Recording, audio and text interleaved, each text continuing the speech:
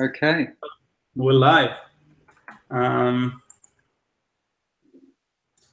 hello, friends. Uh, welcome to the 2017 Global Dialogue on Waste. Uh, since 2013, we've been making high quality knowledge accessible, uh, easily accessible, and consumable to leaders anywhere in the world.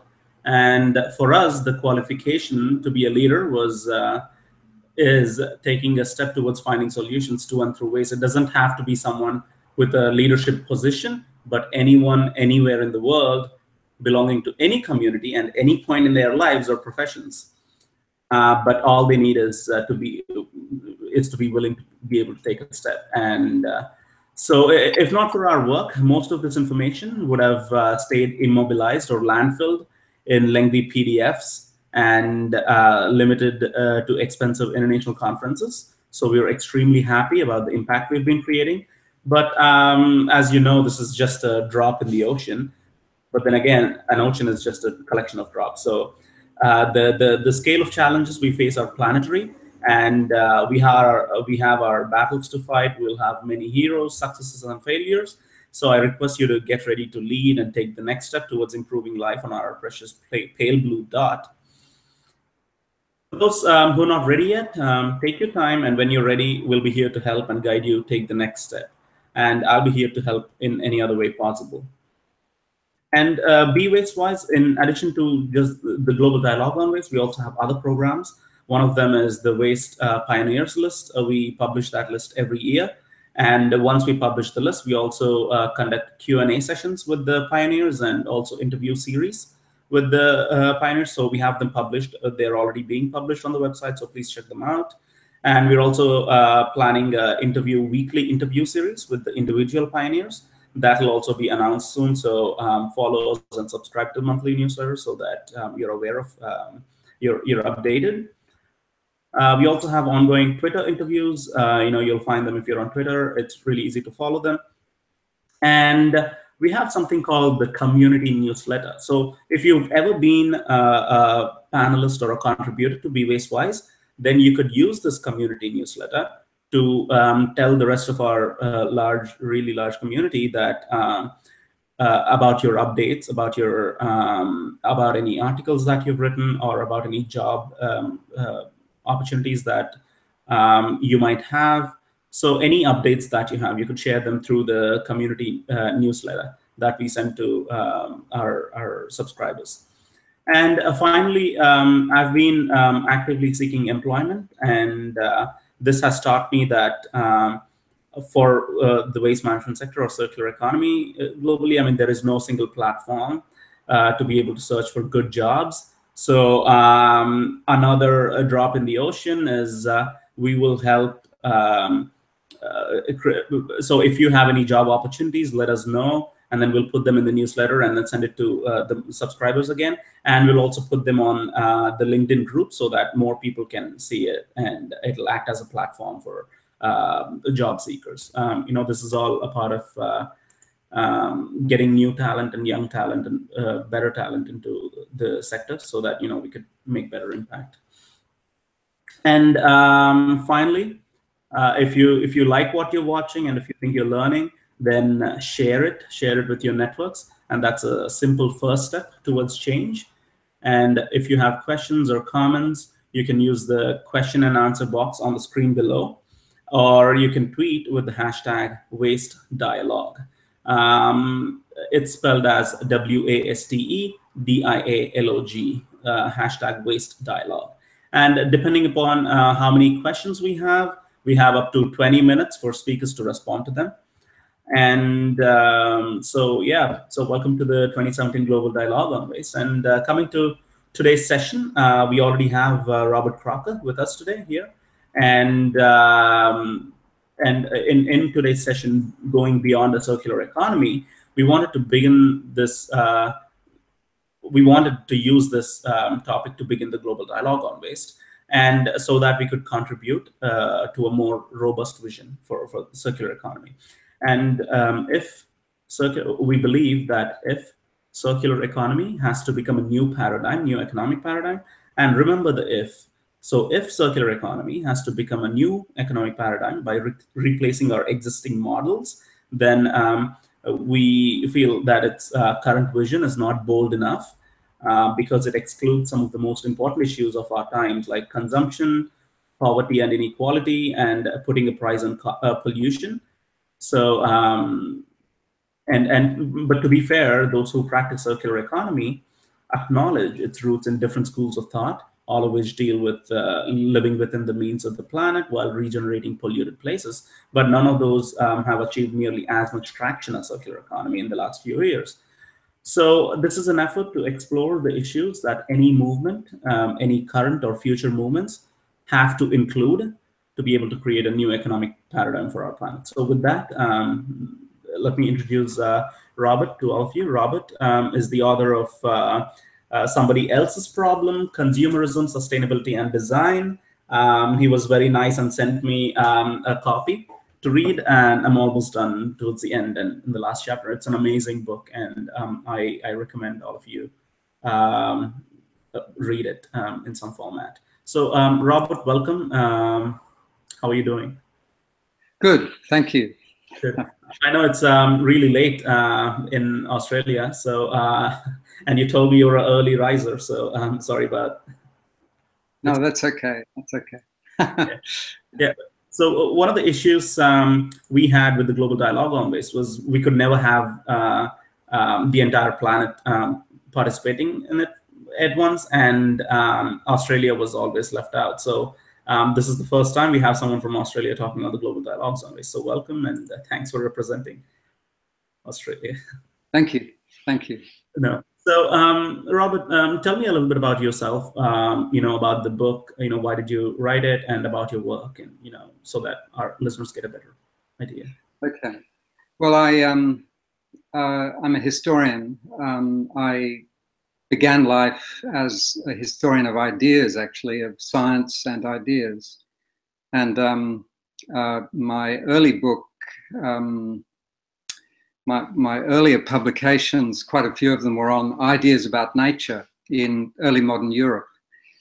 Um, but about uh, 25 years ago, I became involved through uh, a very serious accident in um, uh, pedestrian advocacy and um, uh, that has to be the hardest kind of environmental activism I know because pedestrians are not really noticed until they're knocked over or until there's a problem.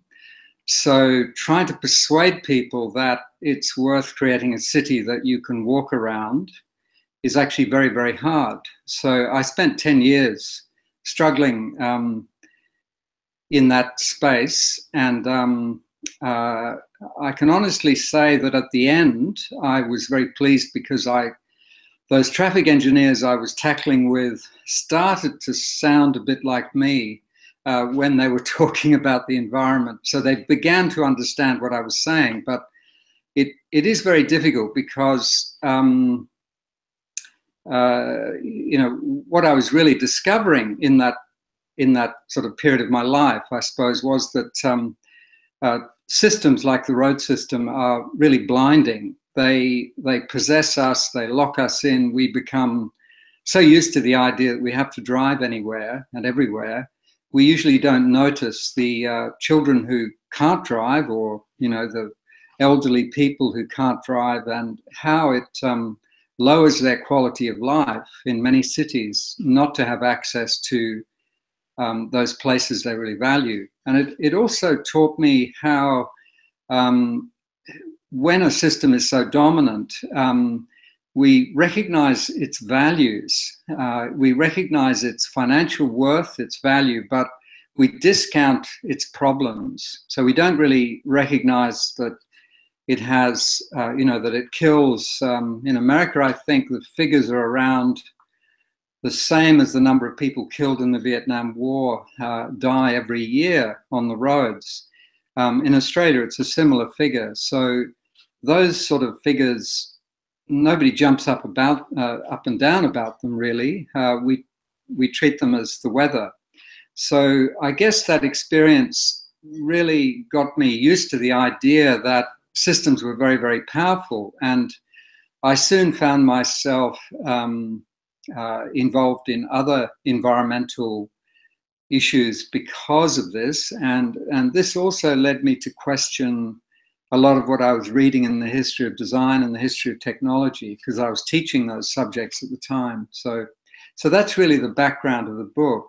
Um, although later on, uh, probably about five years ago, I, I was teaching um, uh, a master's of sustainable design, and I was responsible for the um, uh, you know for the theory side, for the history side of the, the course.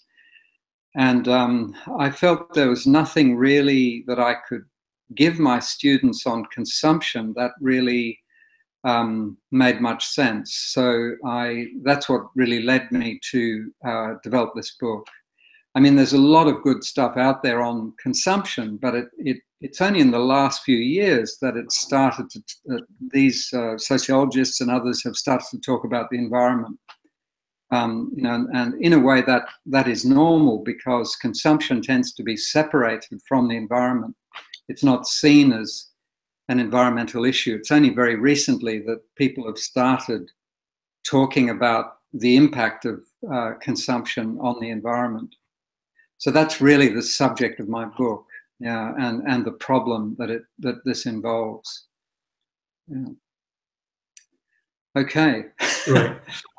Right. Yeah. So um, thank you. So um, well, uh, to begin with, since we're talking about um, a vision for circular economy, so can, can you um, talk about um, your vision for um, the future of the planet, and you know what roles do you think um, consumerism and consumption and design play in it? Um, can you talk about that a little bit?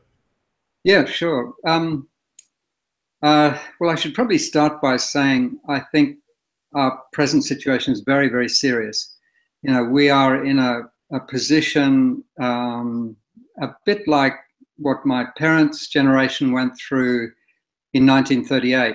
We've been spending, um, since the 1950s, really, we've been um, uh, making more stuff uh, more efficiently, more quickly for more people. And um, the, uh, the kind of um, if you like, uh, the, the effect of this uh, escalating problem, um, you know, is very much a 1938 moment. What I mean is that in 1938, um, everyone in Europe was hoping that nice Mr. Hitler would um, make a deal and uh, calm down and uh, let everyone live in peace. And this is this never happened. And I think, in a way, we're in this moment where there are people wanting to escape the problem by saying it's not really happening and by saying how you know good it is because there's been a lot of people who are now uh, no longer in extreme poverty who were in extreme poverty but to me this is really avoiding uh, the issue we have very very dramatic material changes uh, driven by technology and by industrial efficiency producing uh, so much uh, so much material um, we also have uh, scientific changes which are very dramatic.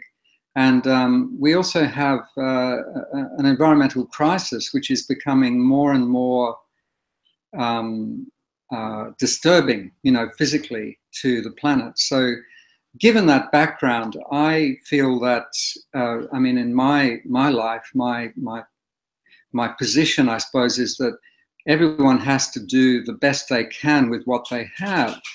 And I'm the sort of person that I enjoy research, I enjoy writing. So rather than going out there carrying banners and um, trying to get politicians to listen, I'm trying to use my uh, my my my skill as a writer to at least make people more aware of this problem. I suppose I, I slightly differ with you, you know, in your opening statement, in that I feel that um, uh, you know, looking for solutions is very, very important. And, you know, I'm surrounded by very clever people who come up with some solutions in certain areas, you know, and they can be very specific, scientific ones, technological ones. But I'm very concerned that uh, we have to really face this, this, this uh, elephant in the room of consumption. And uh, when we talk about the circular economy, um, it's certainly very, very important that uh, Rolls-Royce and big companies uh, do things with their their industrial processes to make them more efficient and less wasteful. That's very important. But until we start looking at everyday life and behavior and throwaway things and fast moving things, uh, the systems we live with, like cars, you know, um, transport systems, communication systems, all these are things that we tend to sort of treat as though they're out of bounds because they're making people a lot of money. And um, my view is these things have to change, and there's there's a very important role for government and for policymakers in this as well. Uh, but until you understand the extent of the system and are really willing to spend a bit of time thinking about it and how it um, has been internalized since the 1950s, um, it I, am what I'm worried about is we'll continue focusing upon glamorous individuals with big ideas who promise to change the world, rather than talking to people in, say, Jakarta who, you know, are dealing with waste. You know, like one of my PhD students, um, you know, who are actually seeing, you know, the kind of uh, um, the result of all this consumption and the kind of problems we have. So for me, the circular economy is a good start. That's what I'll say. um, so, um, so in terms of right. uh, the, yeah, okay. Sorry, go ahead. Yeah. No, well, I think the circular economy is is is a, a very important start, and um, but uh, what I would like to do is to remind everyone involved in the circular economy that while you can put little boxes up that say consumption, uh, you know, say production, consumption, and waste, it's very important to put between those boxes uh, the market. What is the market doing with that material uh, going from production to consumption? Uh, what are the what are changes in prices? Because price comes into this a lot. Uh, one of the uh, great one of the insights of the great economist um, Stanley Jevons in the 19th century was to recognize that when you produce um, uh, more, when, when, you make a system more efficient, you tend to lower costs, and this will generate more consumption. And you know, we, we sort of understand this, but what what happens when everyone is actually trying to help that system produce more stuff for more people? you end up with things like the throwaway coffee cup. What is it, 500 billion perhaps? We don't have accurate figures, but 500 billion a year uh, just for saving a few minutes on your way to work or whatever, where it's very easy to bring your own or just to use the ceramic cup and stand at the bar as they do in Italy. So that sort of thing, um, okay, we can we can recycle it. We can create technologies to uh, separate the plastic from the paper. But um, the, the issue really is, is it worth cutting down all those forests um, and taking all that water to make something um, so wasteful and so uh, irresponsible, really? Yeah. so that's my question, I suppose. Yeah. Right. Right. And um, this actually uh, reminds me of um, a quote uh, that I heard in a TED talk from I think Janez Potočnik, um, where he says that, um, and I also found the Nature article he was referring to, which says that um, consumption and uh, consumption per capita consumption rate and um, uh, population growth are the two major drivers which drive all other anthropogenic changes on, on the planet. And which is why uh, we believe, you know, talking about consumption is so important because no one else is doing that.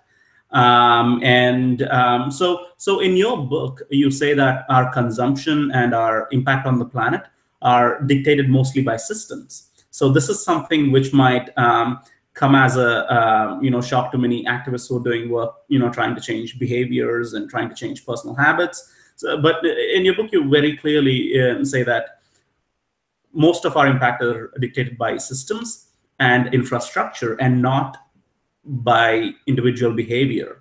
Um, and you also, I, I, think, I believe you say, even if you're the greenest person, even if you're a sage, um, you would still have a significant impact on the environment because of how your systems and infrastructure are already set up. So, in in such a situation, um, what's the role of the individual then? You know, how do they engage with the systems, and how, how do they, you know, bring about change? Well, I guess I guess I should explain that this book, in a way, was partly written for my students, um, and they uh, these are young professional designers, lovely people. They come from all over the world, um, South America, America, Canada, um, you know, and so for the last 10 years, I've been teaching these students. And one of the things that really struck me when uh, they came to me was they had all uh, sort of swallowed the idea that, um, you know, if they just designed greener stuff, things would change and things would get better and everything would be okay. So, you know, I, I wanted, I was aiming uh, the book to some extent at them, but I'm also very much concerned that turning um, individuals into heroes, consumption heroes, is a bad idea because what it does is it distracts us from systems. That doesn't mean that the individual is not important. You know, it doesn't mean that we are helpless. You know, um, in fact, I really think that everyone can make a difference uh, because um, you know, even if you, you know, e even if you don't have um, you know, if you use your skills, if you use what you have, you can make a difference in your life in all kinds of ways. But when it comes to consumption, um, you know, if you look at, say, you take the four or five um, kind of areas that people interact with systems in their homes, you know, things like electricity and power and gas, etc. They don't usually determine where these come from. Yeah, transport um, often they're stuck, you know, if they're living in a suburb or, uh, you know, they're often stuck with whatever's available, you know. Um, food, you know, supermarkets. Um, you know, you might be a wealthy person who can make a lot of choices, but most people in the world can't, yeah? And things like shopping and clothing, that again is largely determined by systems, yeah? So those four areas, when you look at the individual, the way that that um, the individual's consumption then adds to other individuals' consumptions within the same kind of uh, context. You know, like say you have ten houses in a street, um, you might have somebody who really consciously tries to do the right thing.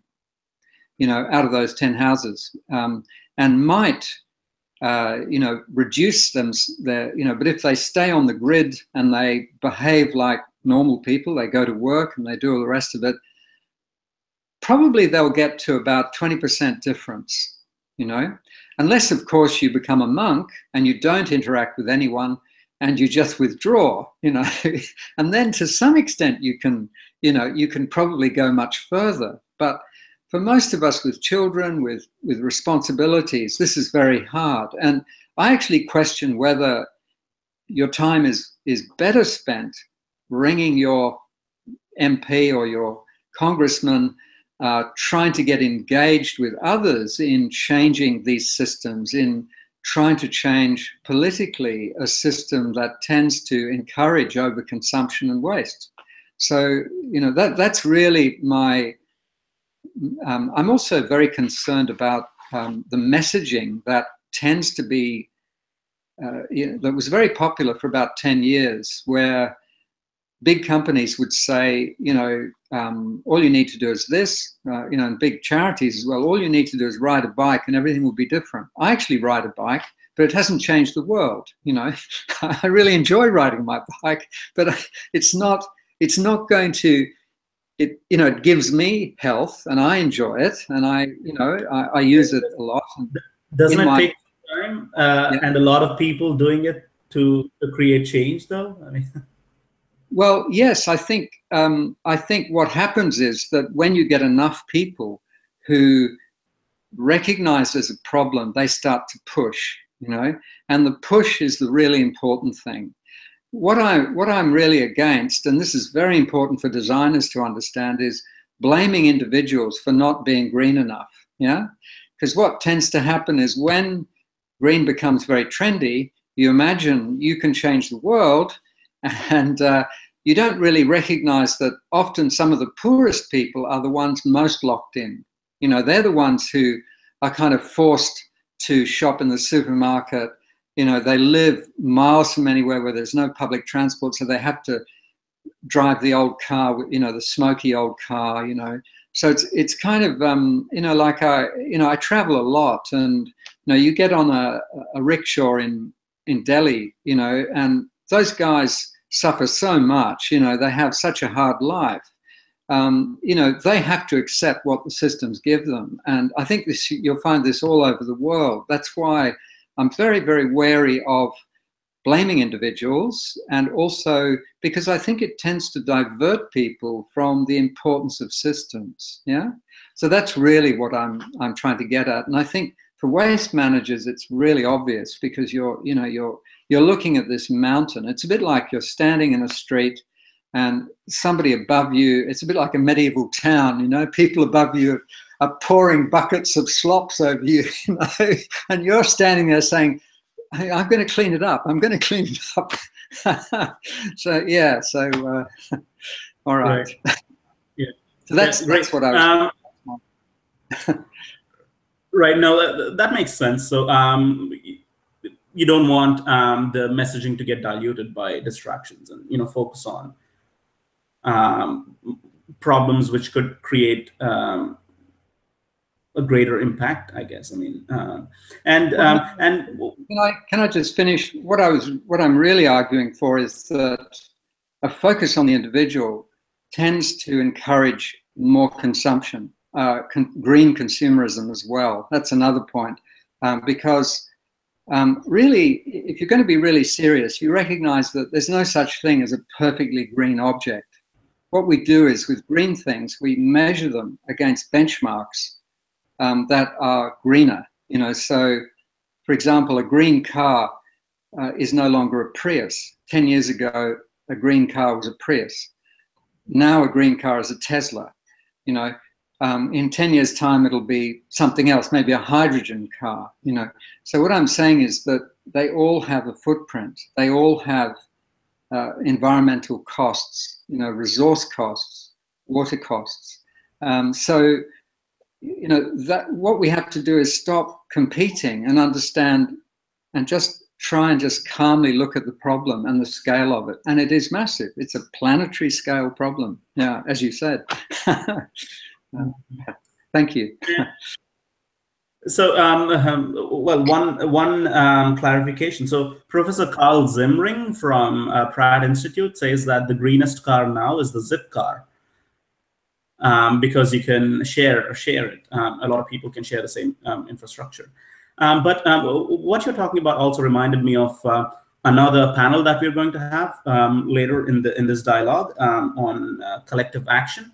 And there we have uh, two um, activists, Olivia Lapierre and Chanel Crosby, who will be talking about the lack of representation of um, populations which will be most affected by you know uh, these uh, changes that the environmental changes that we're going through and how it's extremely easy and how zero waste movements are um, um, mostly represented by people who could make choices like who are wealthy enough, who are privileged enough to be able to make choices and change their lifestyles accordingly. But then they believe that they're not completely represented by people who need to, so that they can be more resilient towards change.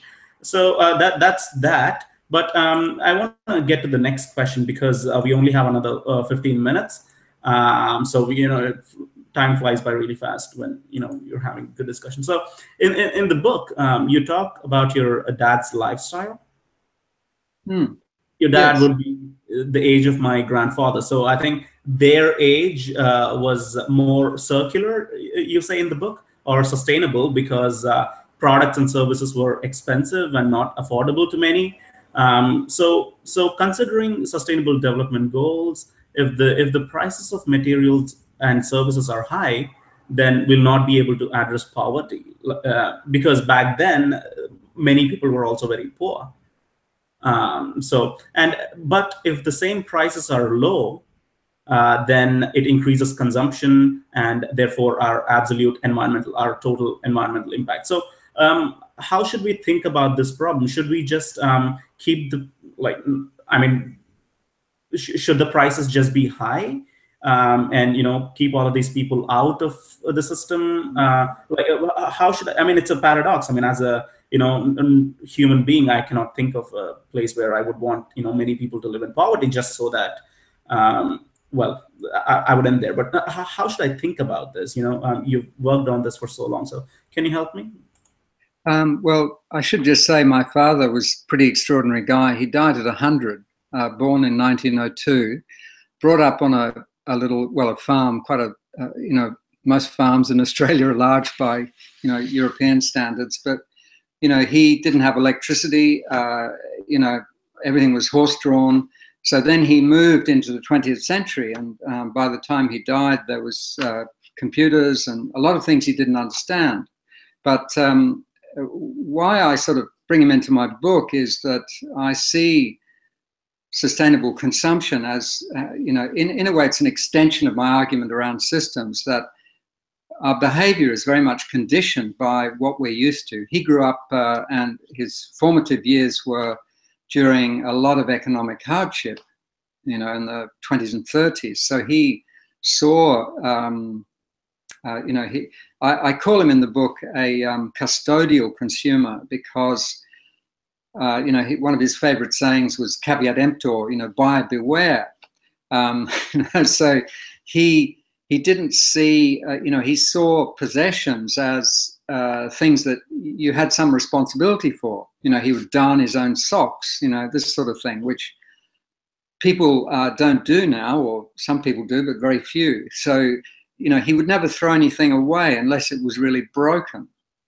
So, you know, to me, it's uh, that kind of consumption in a way, we need a bit more of that, you know, to, um, uh, you know, but what you're saying in a way about um, the Sustainable Development Goals, my concern, uh, probably like uh, those of your, your activist guests later, is that, um, you know, the what we seem to be doing is we're, we're, we're kind of in a way enriching uh, one part of the world at, at the expense of another in a kind of a, um, uh, you know, that the, well, well, the issue with sustainable consumption is that if we keep making things faster and faster and faster and cheaper and cheaper, we're not necessarily making the things we really need. Um, we're not necessarily making the things that will last and will be useful to us. So I think there's a there's a sort of a middle ground between the two extreme sort of scenarios you or arguments in a way that you present presented in your question. Um, uh, for example, um, if you look at uh, a lot of the everyday things in the supermarket now, a lot of them are very cheap, uh, fast moving products that are deliberately engineered to last for very short periods of time what they're trying to do is to make sure that you go back many times and you engage in many transactions. You know, like um, I've got a, you know, my dad and people older than me always used to have razors that lasted maybe 10 years or so. They might change the blades every few weeks, but the blades could then be recycled. Now, uh, most people buy these little plastic ones that are disposable or that will last a very short period of time. Shaving foam uh, used to come in a, a block, you know, and um, that would I still I still use this. That lasts six months. Uh, you know, the the stuff in the cans will last maybe two weeks. So you you find yourself going back and throwing these things away.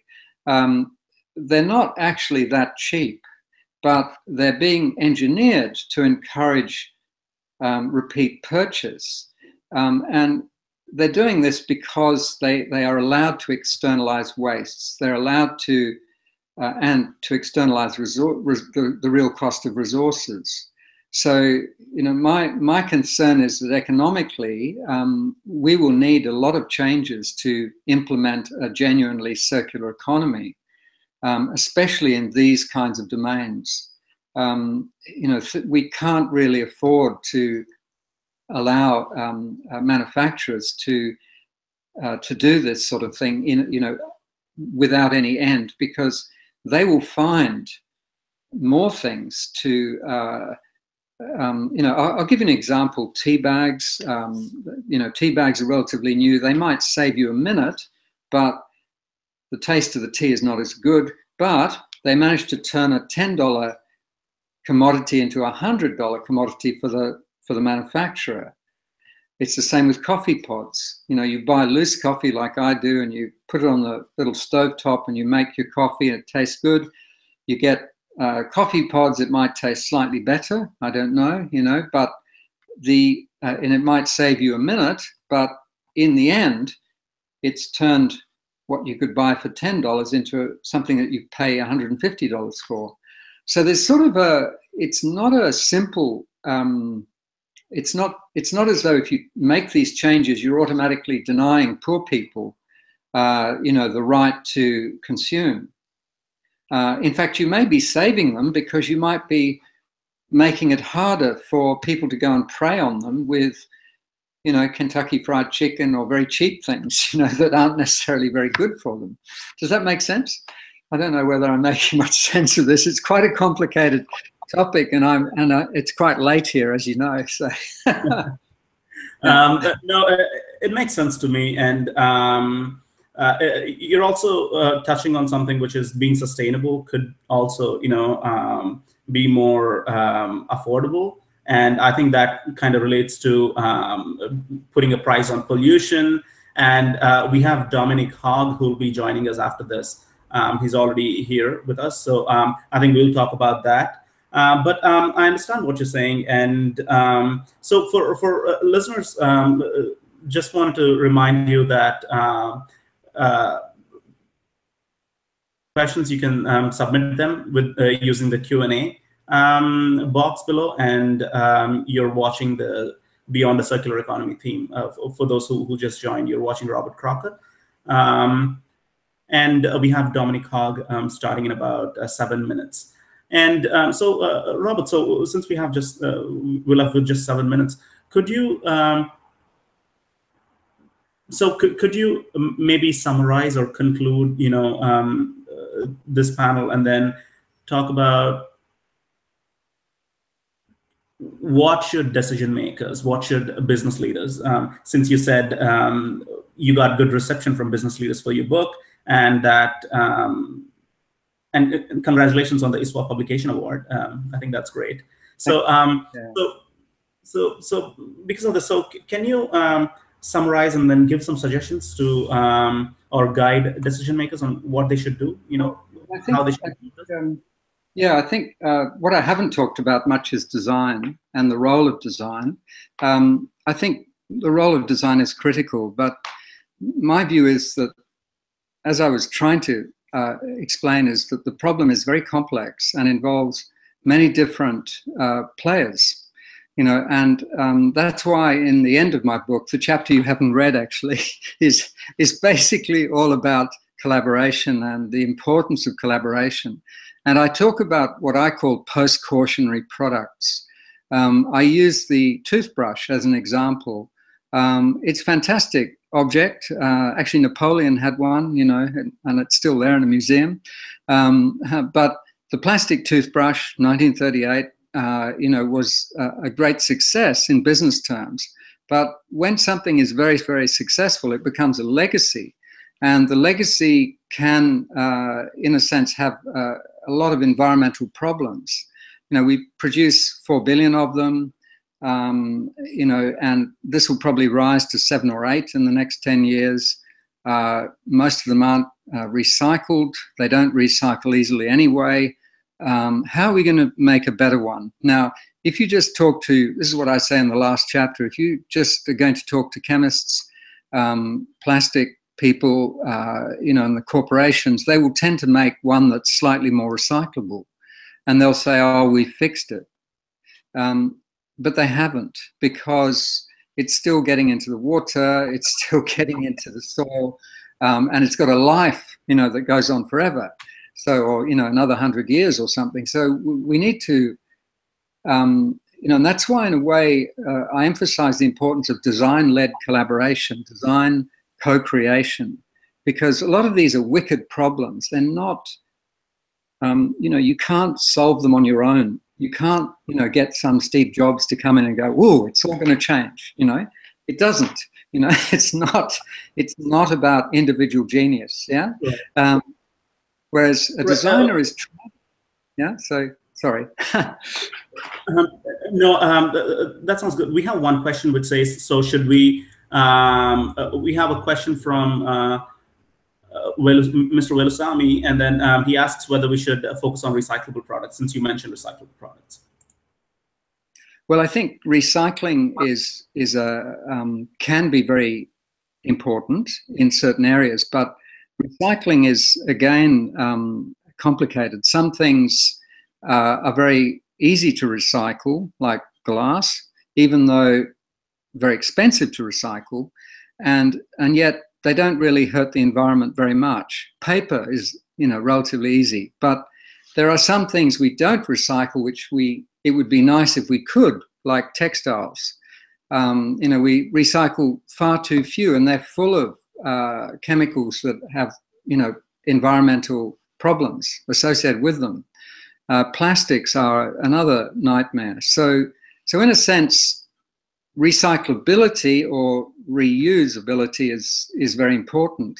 But even better is to make things that last longer and can be used longer um, in use, you know, and uh, even if they are a bit more expensive and they last longer, but finding the economic um, way of making these things popular, that is another problem. I'll have to write another book on that. it's not it's not an easy thing to discuss in a few minutes. Yeah, but no. recycling is important, but perhaps not as important. It's not the solution a lot of people imagine it to be. Yeah, take my coffee cup. You know, it's a the, you know the throwaway coffee cup. In theory, you can recycle it, but in Australia, um, it's not recycled; it's just buried. Yeah, right, um, which right. is a problem. Um, I hope in your next book you um, uh, not just write it for students, but also all of us. And um, so, um, so with that, I think uh, Robert, uh, thanks so much. Do you have any final concluding remarks? We have just one minute. Well, I just wanted to thank you very much for um, putting up with me for 45 minutes. I, I feel um, uh, very pleased to uh, be able to talk to you because it's nice to actually try and explain what my book is about. I think uh, some people, uh, I think on a whole, it's had quite a good reception. Um, I think some people expected me to come up with solutions, more solutions, but really the whole uh, purpose of the book was to say, well, the problem is very big and very complicated and has very deep roots, roots, historical roots, behavioral roots, technological roots, and that's and in a sense, my my understanding of solutions is they they follow problems. So when you understand a problem well enough, the solution will appear. So that's why I think understanding the problem is, you know, in a sense, uh, very very valuable. So that's that's why I've sort of structured that book in the way that I have. You know, so okay. Well, thank you anyway, Ranjit. Yeah. Well, great. Uh, uh, thank you very much, Robert. I mean, um, and um, we're really glad to uh, to uh, to have you um, to be able to discuss this um, topic over such a long time. And uh, that's the reason we changed the format so that you know we have enough time with each speaker for 45 minutes. And these days, I mean, um, all the uh, discussion and all the media consumption is you know bite-sized, and you know it just kind of makes the dialogue more extreme. So you know this format was just to make sure that you know we have an we have an opportunity to talk and you know exchange ideas with you know bright minds. So thank you very much for joining us and uh, thank you. yeah. have a good night thank you. Yes. I will. Right. thanks so much. Yeah. Bye for now. Yeah, yeah. thanks robert. Bye. Bye, Um, we have um, Dominic here, um, Dominic Hogg from Eunomia Research. Uh, let me just unmute him. Uh,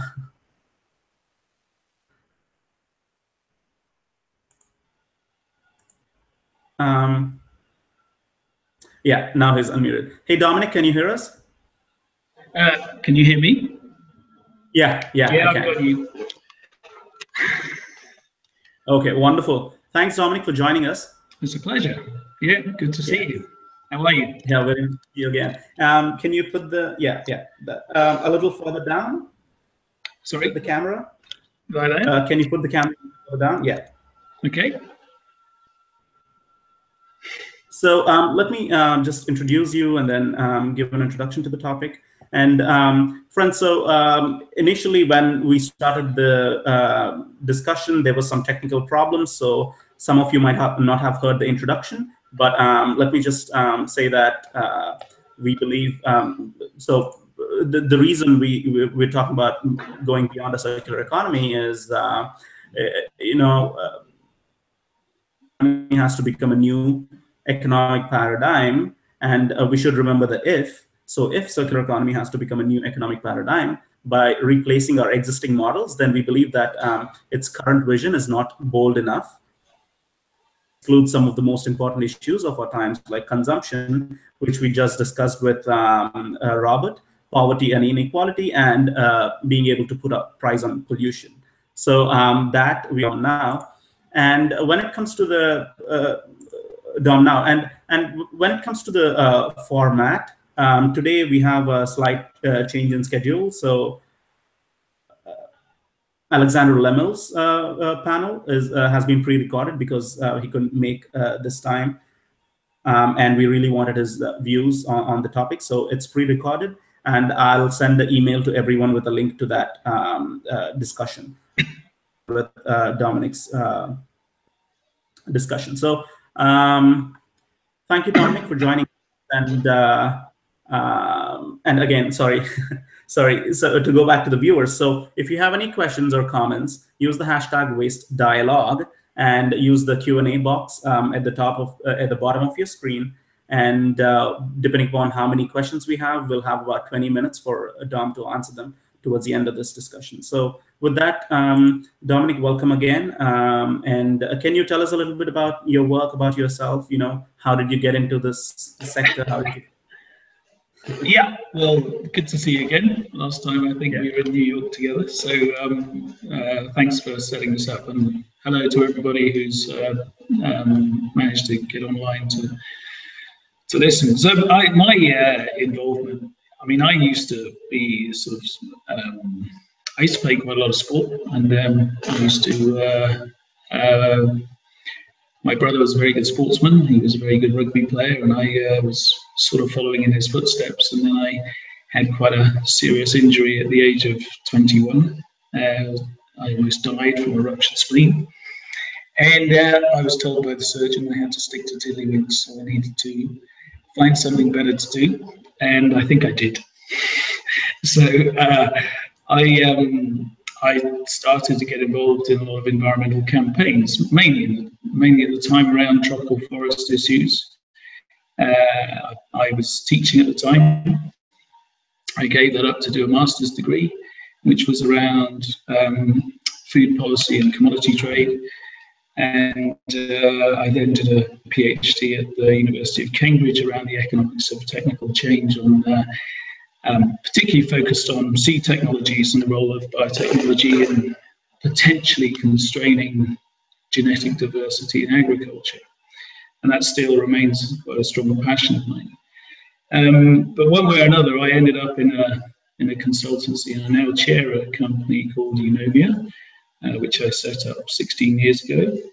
We now have around uh, 70, 75 staff in, uh, in London, Manchester, Brussels, um, Copenhagen, New York, and we have a, a, small office in Auckland as well in New Zealand. And well, our main emphasis is on waste and resource issues, but also low carbon energy, um, sustainable business, particularly around supporting circular economy type models and resource efficiency, and also um, issues around natural capital and marine pollution, particularly marine plastic pollution, which we've uh, done quite a lot of work on recently.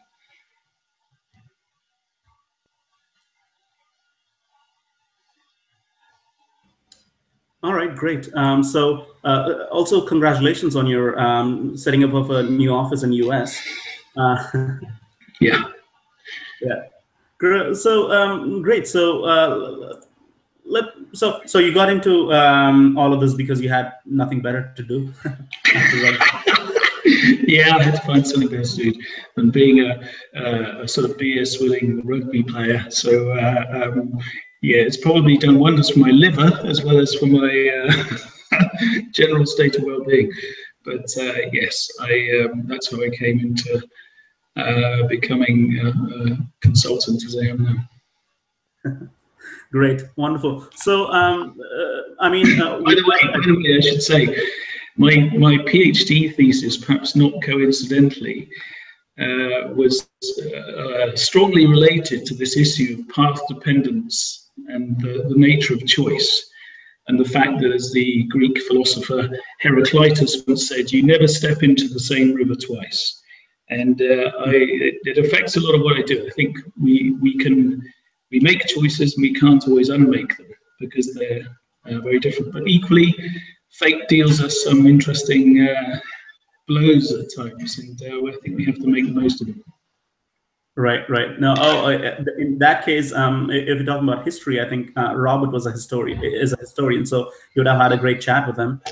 Um, and um, one of the things that led to this, um, um, to inviting you, was we met um, at the UN um, Marine Plastics Conference, and you were on the stage. You um, had a chance to speak, but it was just 15 minutes, and there were like six other people who were all really good again. So I felt like we couldn't really hear a lot from you. So you know, I thought maybe in this way, you know, we actually have some time, you know, good 45 minutes to be able to discuss different issues and you know go in depth. So uh, thanks for accepting. And uh, so let's start with uh, what circular economy. Um, how do you um, how do you differentiate them it from you know other environmental concepts and movements? Um, so maybe we could start with that. Well, I suppose I mean you know a lot of people will say, well, this is nothing new, and, uh, and I think there's some truth in that. But obviously, there's been a resurgence, should we say, in interest in the concept of the circular economy.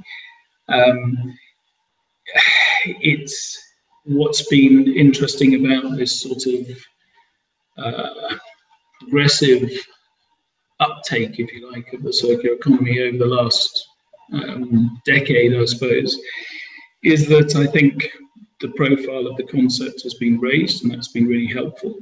Um, I also think it's become uh, very clear that uh, the role of design, and I heard Robert talking about that earlier, um, becomes sort of center stage.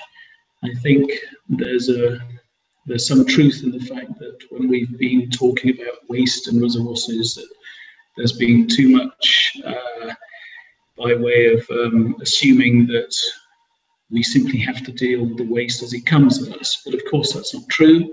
And uh, if we start to emphasize and place um, push greater responsibility towards those who are uh, designing the things we consume. then I think um, we have a better opportunity to ensure that what consumption we do um, engage in is of a more sustainable nature.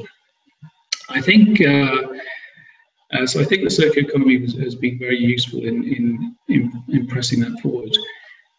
Is it radically different? I, am not so sure. I think um, uh, you know, we it, it, it's um, it's important, obviously, that we, we it, it, feels to me as though it embraces a lot of other concepts and um, uh, that that we could describe in the environmental movement. We've had various uh, people talking about resource efficiency, factor four, cradle to cradle, biomimicry, and so forth. And indeed, the circular economy draws on all of those. Um, does it is, is it entirely uh, consistent with all of those? I, am I'm not sure.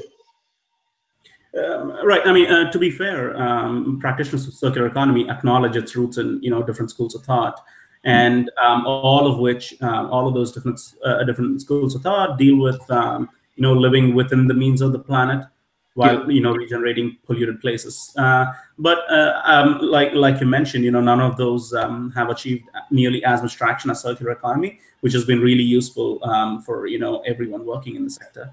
Um, so, uh, and uh, in, in this, so in our efforts to probably add to what's already existing in the circular economy so that, you know, it could be a, um, we can piggyback, kind of piggyback on the traction that's already there. You know, we're just hoping that we could add Yeah. uh, yeah, yeah. I think that's So- right. I mean, I, I think we could have quite an academic discussion about exactly where one ends and one concept ends and another begins.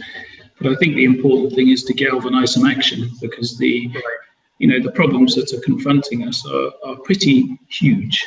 And, Yep. uh, and unless we really start to grapple with them, um, then frankly, we're all, um, uh, we're, we're all in going to be facing a huge crisis in the future. And I think, uh, well, I say in the future, I think we already are in one.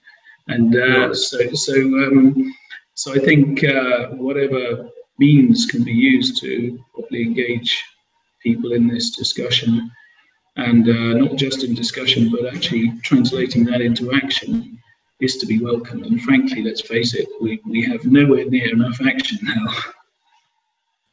No, uh, uh, no, totally. I agree. Um, I mean, uh, this has been very helpful to us, uh, given the enormity of our uh, challenges that we face today. So, um, uh, so talking about being practical and you know getting into action, getting to act. Um, so, and coming back to the topic today. So, is is a price on pollution like carbon pricing possible? You know, if it is, uh, who will be the key stakeholders that will make it happen, and you know, how do you think it could be implemented? Um, And is it happening? And I think um, it's happening in different countries through generally through emissions trading schemes. And those emissions trading schemes are mostly trying to ensure that there is a, a means to which they can be made compatible with each other. So it's not impossible to imagine a global trading scheme of sorts. Um, I suppose one of the uh, issues with some some of the trading schemes out there, and of course they vary just in, in scope and design, is uh, first of all the scope, which in which activities, which industries are included and which are not, and also the uh, the extent to which where they are what are called cap and trade models, and they set an absolute um, uh, an overall quota within which people have to remain in terms of their trading, um, whether those quotas are anywhere near tight enough. And of course, uh, the Paris Agreement ought to be helping to, I suppose, tighten the caps that are implemented in the different emissions trading schemes that are there. But the other thing I think that's quite important, we live in a globalized world, and um, obviously there's an interesting discussion about uh, how countries deal with and report on their emissions of uh, greenhouse gases. And under the UN Framework Convention on Climate Change, reporting under the waste chapter is very narrowly focused on effectively landfill and biowaste treatment. And so the, the role that better resource management can play in uh, addressing the overall level of emissions um, associated with resource consumption is somehow obscured. Uh, and let me give an example of that, or I'll give a couple of examples. So, for example, if, if I'm a major importing country, and the United Kingdom is one, then actually much of the uh, emissions associated with what I'm actually consuming are not happening within the country. They're not associated with production within the United Kingdom. But of course, our inventories that we report to the to the UN are based around the activities of production within our country. Um, so we don't see um, some of the impacts of consumption because those emissions are effectively taking place in other countries. Now, of course, that's fine if, if lots of those other countries have their own uh, emissions performance standards and quotas to achieve. But if they don't, they're effectively slipping outside of our, our, our sight. And the second example would be um, where a country starts to engage in recycling. And again, I'll use the, the example of the UK. Suppose I'm importing primary aluminium from a country like Brazil, um, the emissions don't appear on my inventory uh, because the, they've been the production has taken place elsewhere. If, on the other hand, I start to recycle here in the UK, and I see the recycling happening in a, an aluminium smelting plant in the northwest of the UK, then I have some emissions that I'm going to record within my inventory. And so my, my inventory has worsened, but actually, in terms of global climate change emissions, I may have replaced an activity that generated 10 tons of CO2 with one that generates maybe half or one. And so, you know, the, the, the magnitude of the, the benefit isn't captured within the inventory. So what, what does that mean? It means unless we get to a system where we do have a global form of carbon pricing, uh, we're likely to be in some difficulty vis-a-vis climate change. And in most of the materials when we're recycling, we know that generally one of the effects is that we reduce energy and so at the margin we ought to see uh, less greenhouse gas being generated. So what, what I'm concerned about is that if we don't capture the embodied emissions in our consumption, and if we don't actually price those into uh, to what we're doing, um, then we have a real problem. And so I think we can we can go two ways with this. We can wait until um, the uh, global community puts in place, shall we say, a global trading scheme. Or if we want, we could switch back, and I say switch back because many countries have considered this and um, but we've tended to end up more with emissions trading schemes and taxes. But I think the move back to a tax-based system, and the reason why I think the tax-based system might be better is that I think we might be in a situation where we can better adjust for the carbon content of imports and exports as they move across country borders. And so if, for example, going back to my example, we're, we're importing a lot of primary material into the UK. Um, I think we should tax the embodied carbon content of that import. Um, presumably, if we were to do that, we would also see a lower tax on imports where the embodied carbon content was lower, where, for example, the product was made of recycled material.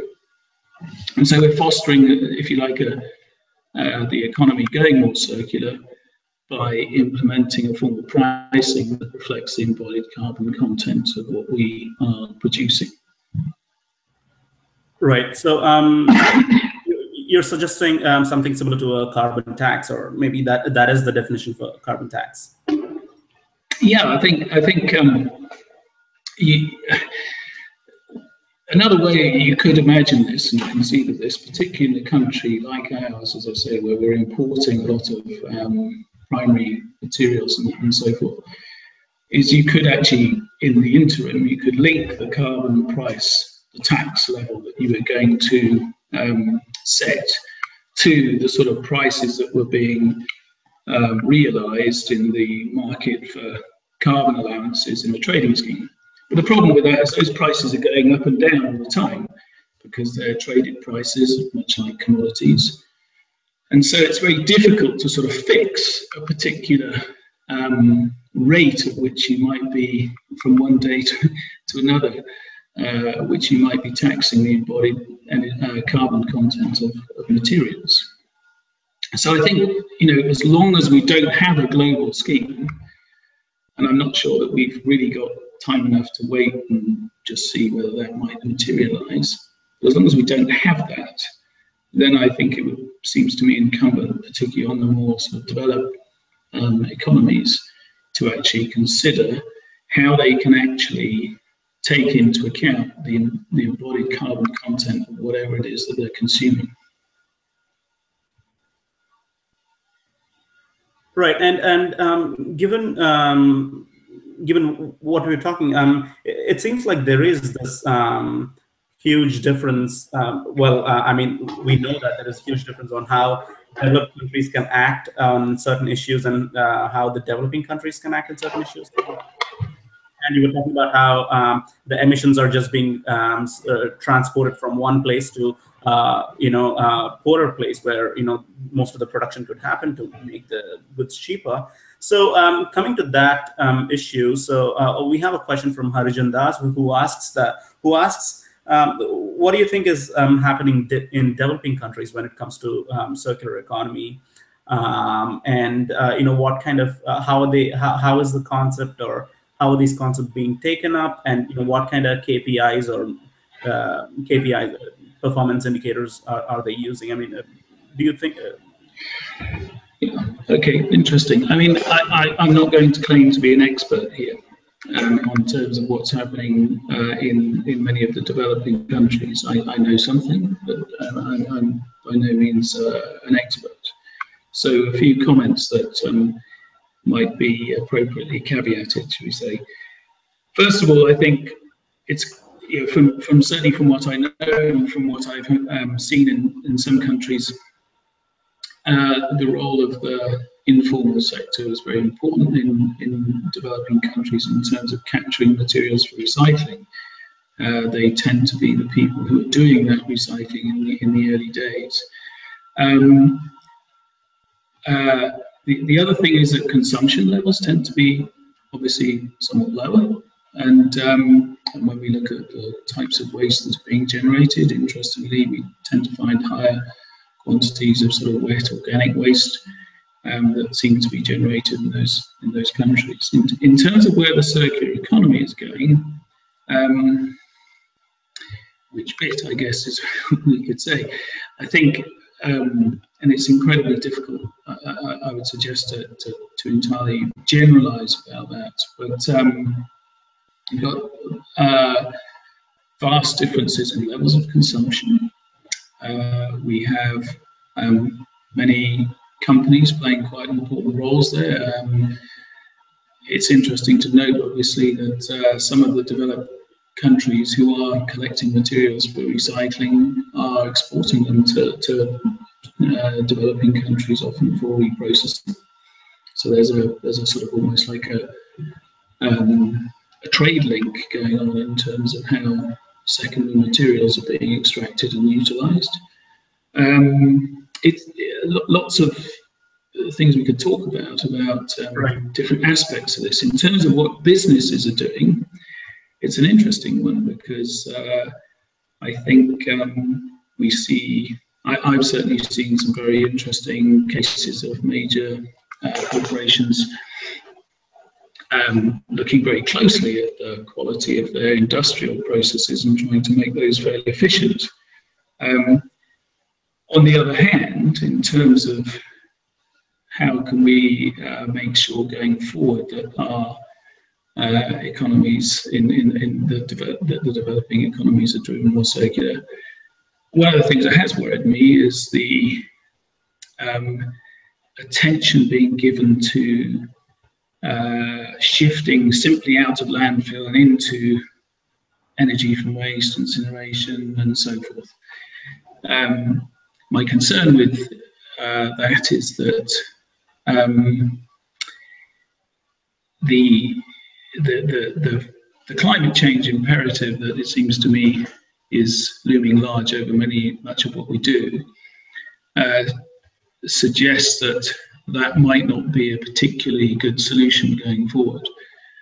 Um, the reason I say that is that to the extent that there's a you know, reasonable plastic component of waste that's being combusted, that plastic component has a fossil carbon element which is liberated more or less instantaneously into the atmosphere. So it gives rise to fossil CO2 emissions. And uh, yes, we might get some energy back. Typically in the developing countries, I suspect it's more likely to be electricity than heat in many of them. And the thing is that what I notice happening in several of the developing countries, they're recognizing that the one of the cheapest forms of energy generation now, electricity generation, is going to be solar. And so at the margin, we're putting in place something that's quite a carbon intense form of energy generation at a time when there's an increasing recognition that some of the lowest cost forms of energy are zero carbon ones. And um, I go back to the point I was making earlier about how countries are reporting to the UN under the waste chapter. And if all your reporting is principally emissions from landfills, it looks as though you're doing a great job just by taking waste away from landfills and putting them into incineration plants.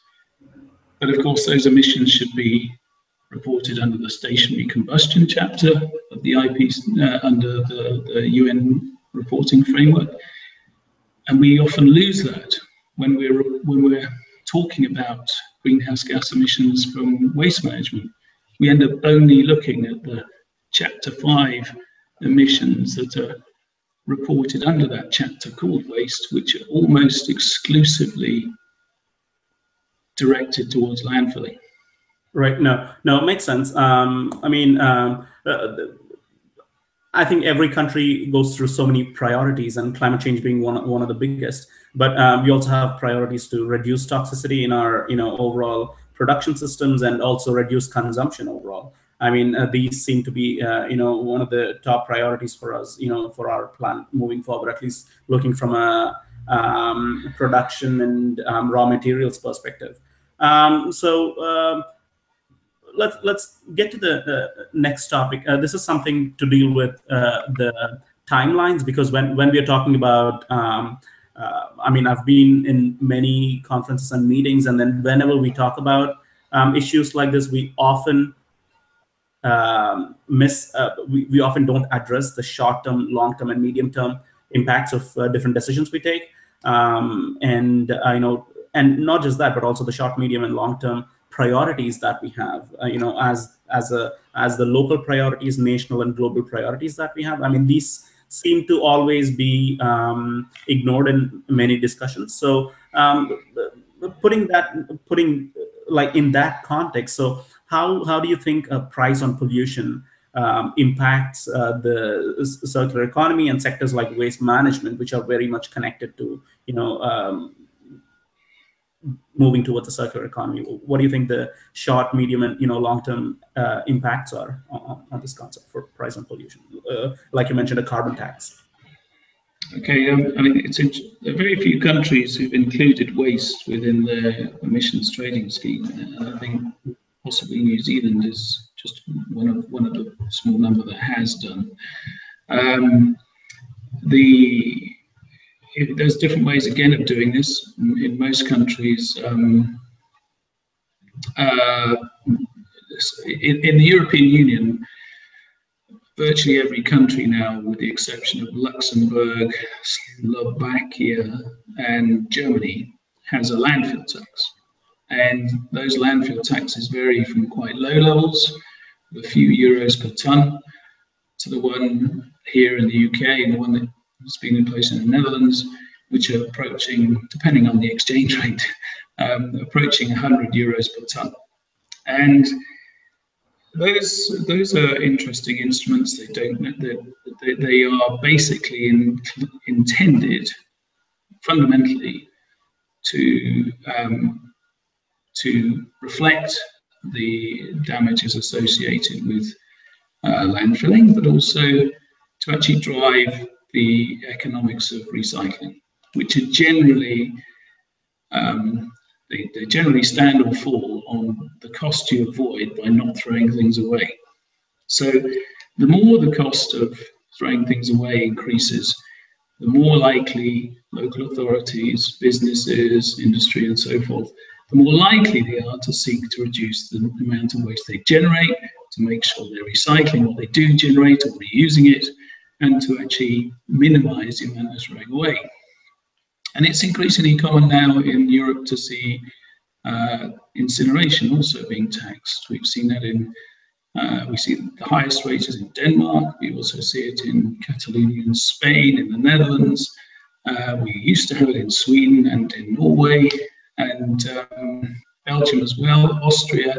So uh, a wide range of countries starting to introduce taxes on incineration. and uh, the Danish one now, incidentally, related to CO2 emissions. So the um, so the the, the, the, picture is um, the, the, that's a that's a very basic thing that can happen in in most countries. The places where it's less likely to happen are those where costs are going to fall directly on municipalities and hence um, uh, households in those situations where households have very low incomes. So what do we do?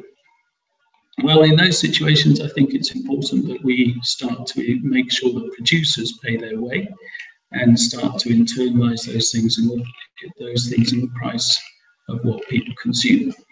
Now, um, the concept of extended producer responsibility is well known, and there's now increasing uh, interest in. So, first of all, I think it's important that producers are what like what, what is it that I think lies behind producer responsibility? For me, for me, in part of the rationale for producer responsibility comes it's partly related to what Robert was uh, describing earlier, but part of it to me is down to the uh, social license to operate uh, um, on the part of those who are selling us whatever it is that we're consuming. Um, what would happen if we if I or other people in the country where I live, or indeed in New York, what would happen if there was no waste collection? And what would happen to the stuff that people are consuming and the packaging that's generated and the stuff that, you know, um, fails to work anymore, that can't be repaired? You have this enormous quantity of stuff that we're generating. And if nobody took it away, then what would we be saying? And I think that it's right that producers um, see a role for themselves in managing the end of life fate of the materials which are a consequence of our consuming their product. So I see it, I see it in some ways as a sort of social license to operate. And if you see it in that way, then I think it's not unreasonable that producers, producers should play a role in um, ensuring that the, the, the, products of their of their products and packaging being consumed are well managed. And I think the principles that we have here now, which are full cost recovery of the collection of that material, not just in terms of the material that's recycled, but also the stuff that didn't get recycled. It was still in the, the mixed waste, if you like, and recovering the cost of littering, and increasingly trying to make sure that people who put products on the market that are difficult to recycle are actually charged more for doing that than those whose products are designed so that they can be easily recycled. So it becomes another form of economic signal back to the producers that actually right. we don't want you to be putting, and by the way, it's not in your interest, to be putting products onto the market that just can't be recycled. Right, and and um, um, when it comes to extended producer responsibility, which is also a type of price on pollution, um, uh, it's not just extended producer responsibility; it's also extended producer and consumer responsibility because the consumer is also yeah. paying for it. Um, so uh, it's an extended uh, uh, responsibility on everyone in the um, chain, in the in the value chain that's that's producing or buying the product, so that uh, finally I mean, this also relates to environmental justice. You know, your choice, your your choice of product impacting someone else's life somewhere else, yeah. um, planet. You know, whether through uh, climate change or whether through uh, plastic pollution. You know, which is a big issue now. Um, so uh, it, it's not just producer responsibility that that we're talking about here. No, it is consumers as well, and uh, and but of course, consumers are then to the extent that those uh, decisions significantly influence price of what's consumed, consumers then can choose, as it were, to make their decisions based upon something that at least nominally reflects uh, something about the environmental impact of, of what they're consuming. It, it would be wrong, I think, to call that necessarily a price on pollution, of course, because it's it's you know that's a slightly more complicated, um, and we, would have to go back up the uh, the supply chain in a sense to make sure we were taxing all of the um, all of the emissions that were associated with production. And that, but, but can I just make a point about that last that, that more general point? We've done a lot of studies looking at um, the potential for environmental fiscal reform across the European Union.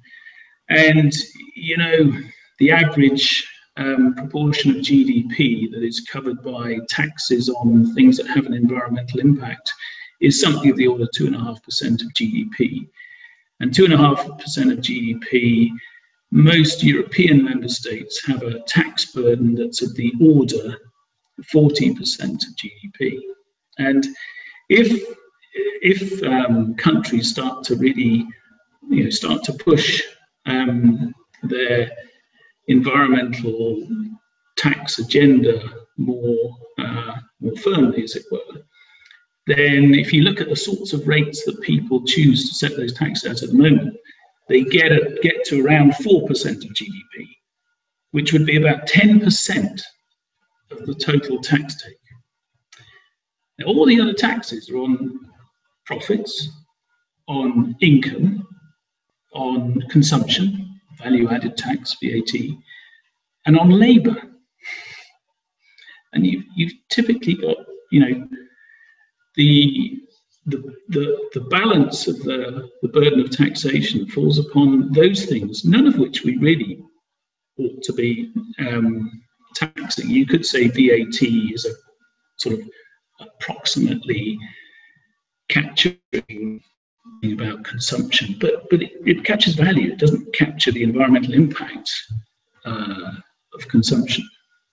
And so one, the, one, of, one of the interesting things I think we also need to explore is as corporations and their, you know, as they get more footloose and it becomes actually more difficult to, to, to tax the, um, whatever it is they're doing, Shouldn't we be making much stronger efforts to shift the burden of taxation away from labour, from profit, from, uh, um, from income, and onto environmental uh, pollution?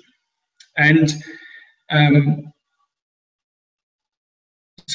you can only tax at the level of the externality, the you know the economists measuring the externalities associated with things. Well, and they say, well, look, we shouldn't we shouldn't tax these pollution, these pollutants too heavily because we don't want to go above and beyond their damage cost. But what, how do we set the taxes on, on income and labour? We don't go and say, well, what's the optimal tax on labour? Because arguably the optimal tax on labour would be probably zero.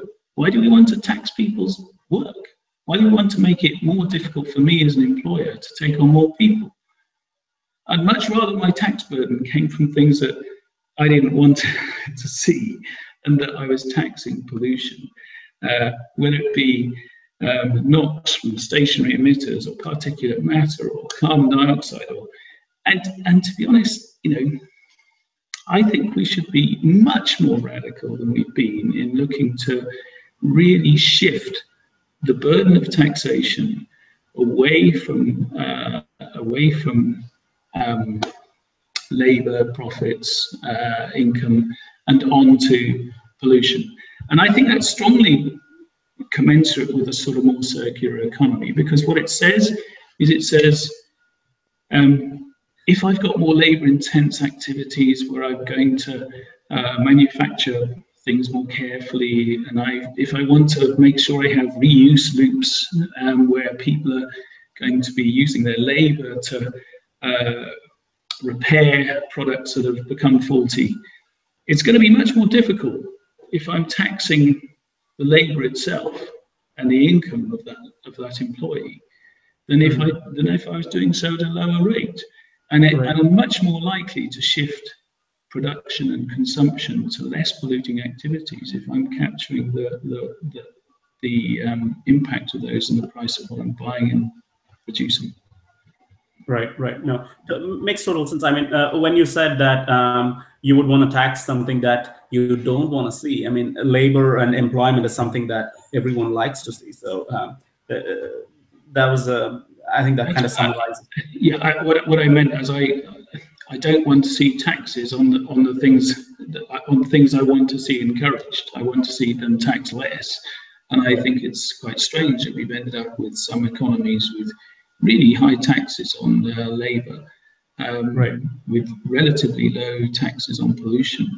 And uh, I, I, I, you know, uh, it's not it's not even helpful to stimulate the economy.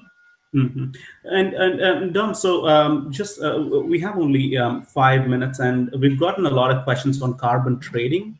Okay. Uh, so uh, I'll not be able to ask all the questions, but um, could you touch upon that? What has been your experience, and then you know how does that fit in the price on pollution, uh, you know, discussion that we're having today? Uh, you know, is it being discussed in the circular economy circles, and you know? Yeah, I think I think it's interesting. I mean, my it's it's virtually the unanimous um, call, I would say, in public policy terms, of from those people who are interested in the circular economy. But the challenge is how do you do it? And I I don't underestimate those challenges because, of course, if you're going to tax, as I was suggesting earlier, for example, the embodied carbon content of, say, um, a computer. Then you've got a huge number of different components, some of which may be made from secondary materials, some from primary. How do we do that? I don't think this is going to happen tomorrow, but I think it's something we should. Are going to have to do it. Feels to me in the in the era of big data, in the era of um, things that are going into my fridge, being able to talk to uh, something uh, telling me that my um, lettuce is out of date and I need to consume it tomorrow. Uh, it, uh, in the era of that sort of um, complexity, I don't think this is beyond the wit of our um, of humanity to, to address.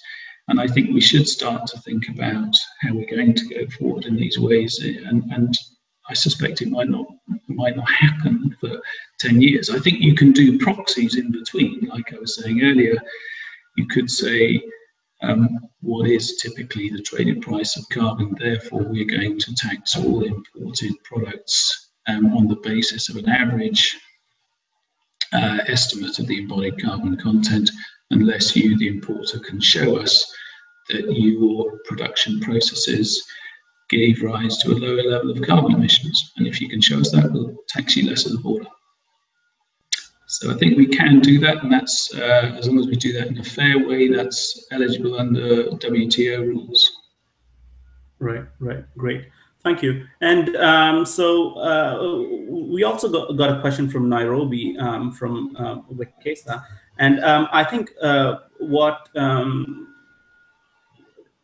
I think the, the question is so uh, we were talking about uh, production being shifted to um, developing countries. And um, how can we change um, uh, that how can we change the perception that those are cheap jobs that are going to developing countries from making those are sustainable jobs for you know the entire economy um, where these jobs could actually um, do environmental good. Um, so i think that's what the question is. So we have a minute to respond and then maybe conclude? Okay, well, I, I, mean, I don't think they need to be is the answer, and I and I uh, and I suspect that were we to be making sure we were taxing on basis of consumption rather than production, or just on production, as it were, that um, we would be sending signals back to those people producing in all countries, and, and indeed within our own country, that what we wanted to see was um, the use of cleaner technology in production, and hence um, we'd be consuming products with a lower, should we say, pollution content. And indeed, hopefully, that would give rise to improved conditions in, in the countries themselves. Right, right. And um, uh, uh based on my experience in the sector, I believe um, uh, I think a combination of EPR and uh, real price on pollution, you know, which um, accounts for um, the embodied um, emissions. I think that is probably one of the achievements that um, is ahead of us that we should uh, you know all work towards getting there because that that will be one of the largest impacts that we can have on on, on the future for, for, for the future generation so um, Dom, thanks for joining us today. And uh, thanks for your time. Uh, I know there's been some confusion with the time, but thanks for being so accommodating. No problem. No, thank you very much for, yeah. for having me and for those who've listened in. So, uh, yeah, thanks thanks again, Ranjit, for setting this up. It's been very fun. Right, great, thanks. So, um, uh, thank you, Dom. So, um, see you again, and see you soon. Hopefully, we'll do. Yeah. Um, Fred, so uh, we've had. Uh, so, friends, um, yeah. Uh, so we've had uh, more than uh, 230 registrations when I checked last time before um, coming on. So, thank you so much for your support. I mean, this really um, helps us we've been putting a lot of time into um, uh, making uh, global dialogues on waste and be waste wise work.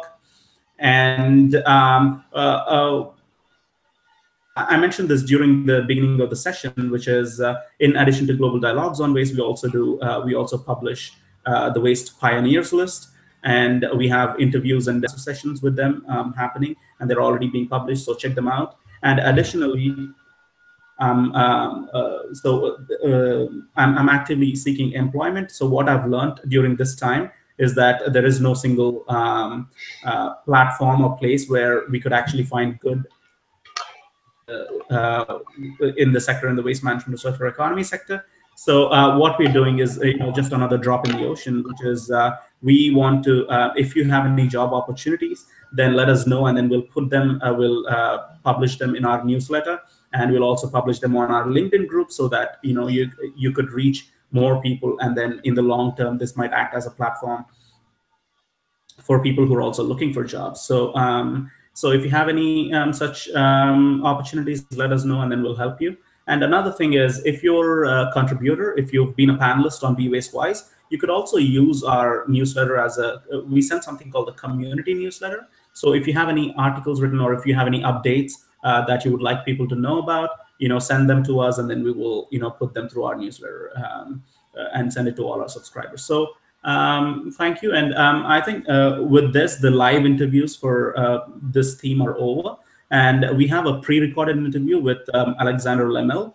And um, as soon as uh, we're done on this, I'll send you an email to that to all, all the people who registered. So um, I think you should get the email in another uh, five minutes. So um, get a chance to um, watch it entirely. And if you have any questions, since it's a pre-recorded interview, if you have any questions, send it to us, and then we'll get them answered on Twitter or uh, via email. So thank you very much, and um, have a have a good day, good night, and um, good evening, and um, see you guys. Thanks. Start recording. Um, so we are recording now. Um, and uh, let me get my introduction. All right, so yeah. Um, hello, everyone. Welcome to the 2017 Global Dialogue on Waste. This is the fifth edition um, of our annual program, the Global Dialogue on Waste, where we bring some of the brightest minds to explore solutions uh, to and through waste management so that all of us could improve well-being on this planet. Um, uh, this is a pre-recorded event, um, and therefore uh, there will be no live engagement with the speaker. But if you have any questions, um, tweet um, tweet them with the, the, hashtag waste dialogue, which is W A S T E waste dialogue is D I A L O G, the American um, spelling. Um, or write to us at um, connect at wastewise.be and we will get your questions and comments answered. Now, uh, this is the fourth event under the theme beyond a circular economy, uh, where we are bringing practitioners and thought leaders from around the world to um, to contribute uh, to a robust vision uh, for the circular economy. And um, today we have with us um, Alexander Lemille. Um, he is the founder of a circular economy um, consulting company called Wizeimpact. And uh, through his uh, various publications, he argues that uh, poverty is the real waste and therefore, if circular economy aims to address waste, then it should address poverty. And it is also a belief at Be Waste Wise that um, for circular economy to become a new economic paradigm, um, by replacing the existing system, then it should address issues like poverty, like um, issues like unequal distribution of wealth, and um, consumption and price on pollution. So we've discussed these issues earlier in, in this um, uh, through live events. And this one in this pre-recorded event, we'll be discussing about poverty and inequality. And um, hello, Alex. Uh, welcome to the 2017 Global Dialogue on Waste. Great to have you again. Uh, hello, Ranjit. Thanks for having me. Um, where are you joining from, Alex? Uh, where are you right now? Uh, right now, I'm uh, from uh, joining you from northern France in Europe. Okay, what are you doing there?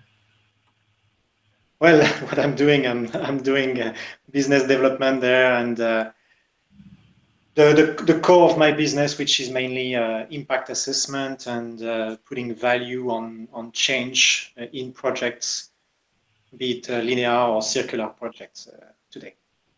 Right. Okay. Great. Wonderful.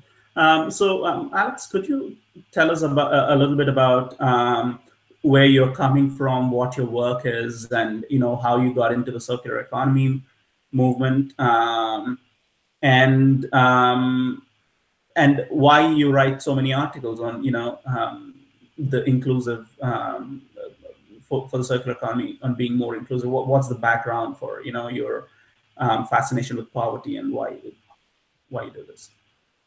Well, uh, the, the, the background started uh, back in the years where I was at Cisco Systems and uh, based in in Dubai, uh, where I saw the extreme capitalism system and uh, all the hidden uh, the, the, the hidden issues that was generated by having such a footprint uh, on the planet uh, because by, living in a country uh, that use yet that use approximately six to seven planets per year to enjoy the life we were, we used to enjoy there. So I started the journey with an MBA, which I uh, which I did partly in Boston, in uh, Massachusetts, uh, USA, uh, with electives in social innovation and uh, corporate social responsibility. I then became uh, an official trainer in those spaces, and I was part of a social entrepreneurship association. Um, but at the end of the day, I was not very happy with with this concept because we needed to prove uh, that a social enterprise was really uh, making a difference on society. And we uh, I, I, saw that the corporate social responsibility angle of uh, the business was mainly a, a press release exercise uh, other than really making the change. And when cisco system decided to become the first funding uh, organization to the ellen macarthur foundation i had the opportunity to be part of some uh, uh, web conferences and, and meetings with dame ellen macarthur and, and then I saw a really systemic uh, concept uh, that was really aiming at, at changing the way we do business today. So that's how I started back in 2011. Right. Um, so why poverty? Why your fascination with poverty? I mean, you um, make a point to mention that, um, you know, in all your articles and uh, all your talks. Well, um, besides Dubai, because Dubai was not the only experience I had, uh, I have lived extensively uh, in Africa. Uh, I have been traveling a lot for business and leisure in in Asia, in the Middle East, and in in Africa, and not the standard business tourism, sorry, but rather meeting with people and and going going to meet the people and to see what's going on in each countries I was traveling uh, in. And uh, to to be very surprised to see some big famous names and employing people uh, that were barely uh, living a decent life. And in social innovation and in the, the, the, traditional triple bottom line which is not exactly the bottom line that we we should be aiming at today by splitting it in silos between the social the environmental and, and the economic but rather uh, a, a, complete bottom line uh, which needs to be addressed in, in one go. You, you cannot separate the environmental from the social and the economic. Um, I, I, realized that uh, the way we were living in Western countries uh, was the wrong concept and was the was having a very negative impact on on, on emerging economies and keeping some people uh, in poverty while uh, we were enjoying a, a, very decent life. And uh, out of this triple bottom line, I'm the social guy. And the circular economy, to me, uh, should you be claiming the circular economy to be our next economic model, then it has to be providing uh, hope for all of us. We live in this linear uh, mindset where we are satisfied with the 1% owning nine, uh, the wealth equivalent to the rest of the 99% of the population of this world. And we seem to be continuing that mindset uh, in a circular economy as we as we discuss it today, with by providing all the tools to the, the powerful uh, people and companies of this world. This is not a critique here. I'm just saying we need to be careful and we need to make sure that this new economic model has a social dimension and why poverty? Well, basically, uh, if you understand well the butterfly diagram, the waste and the eradication of waste is at the center of the diagram between the, the biosphere and the technosphere.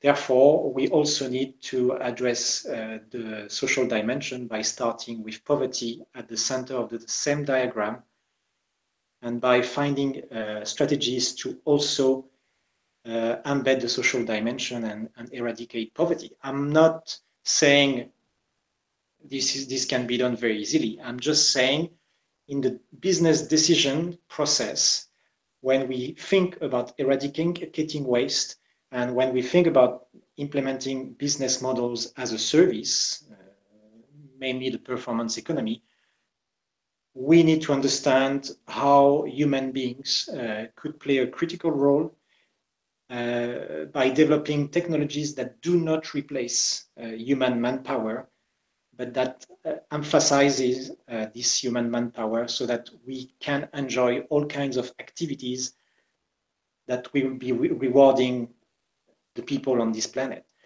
I'm not saying it's going to be jobs like eight to five as we know them today, but I'm saying this is, these, these are going to be rewarding based activities whereby manpower will be preferred over technologies at all costs. That's the that's the reasoning behind circular economy 2.0. Right. Right. So um, if I um, hear what you're saying, um, as as someone who's been consulting for World Bank, I mean, I do come across poverty quite a bit. Uh, I think that's quite privileged because I'm coming across poverty not as someone who's experiencing it, but someone who's you know um, working on different environmental projects to solve it. Um, so um, and um, and one thing I wanted to mention uh, when you were talking about Dubai was that um, you see all the flashy side of Dubai on one side. That's that's what most of us see. But then on the other side, it's um, the labor camps and the amount of poverty and the number, the amount of exploitation that happens to be able to have this flashy um, lifestyle in Dubai. That's kind of generally not seen. And um, and if uh, so, so uh, that was one of my comments on on Dubai, and that kind of shows what kind of economic systems that we are in right now, the existing economic system that we're in. And if I hear you, um, what you're saying is that um, thanks to the foundation, the Ellen MacArthur Foundation, you believe that circular economy would be the next economic paradigm. And if that's going to be the case, then um, you want to make sure that it may, uh, it also addresses the social um, issues like poverty. So it, that's where you're coming from, and and which is why you say that it's not a critique, just like you know this this yeah. theme that we're organizing here, but it's a way to make the vision more robust. Um, yeah, you you have you have two missing dimension in when I when I express the fact that the concept is great uh, the circular thinking is great. Uh, this is the way to go, uh, except that it's not bold enough. It does uh, because we we fear uh, we fear businesses. We we we are still in our linear thinking, whereby we rely on the big businesses to start kicking off that new economic model. But circular economy is a distributed economy. So it's like the sun it's distributed. Everybody can enjoy uh, uh, technology based on uh, sun power. but prefer be, much, much better would be replicating the photosynthesis by natural biological systems. What I'm saying is that we therefore need to address the two missing dimensions of a systemic economic model, which is include everyone as part of this economic model, moving completely away from the linear thinking. So that's one. The social dimension is missing, and we need to embed uh, business uh, circular business models by including uh, all the people when we design those models. And I will explain how uh, in a minute. And the second missing dimension is that we need to move away from our currency-based system into a value-based system. I mean, Polanyi, the famous economist uh, uh, earlier in this century, was explaining that the, the needs of the people needs to supersede uh, the economic the economy. So the social needs need to drive the economy and not the other way around. And by addressing the needs of the people so that they are satisfied and they don't need to consume more, uh, we could maybe avoid the rebound that uh, two, uh, two experts just issued in a report uh, a few weeks ago called uh, Circular Economy Rebound, whereby they say that in three quarter of the cases, uh, there will be a there will be a rebound. So we will be consuming more in a circular economy.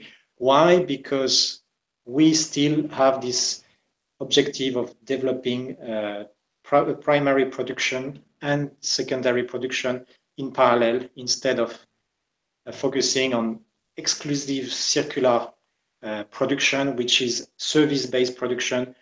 You use a product as a service in such a way that we keep that product the longest way possible in the economy uh, in order to reduce the, our consumption.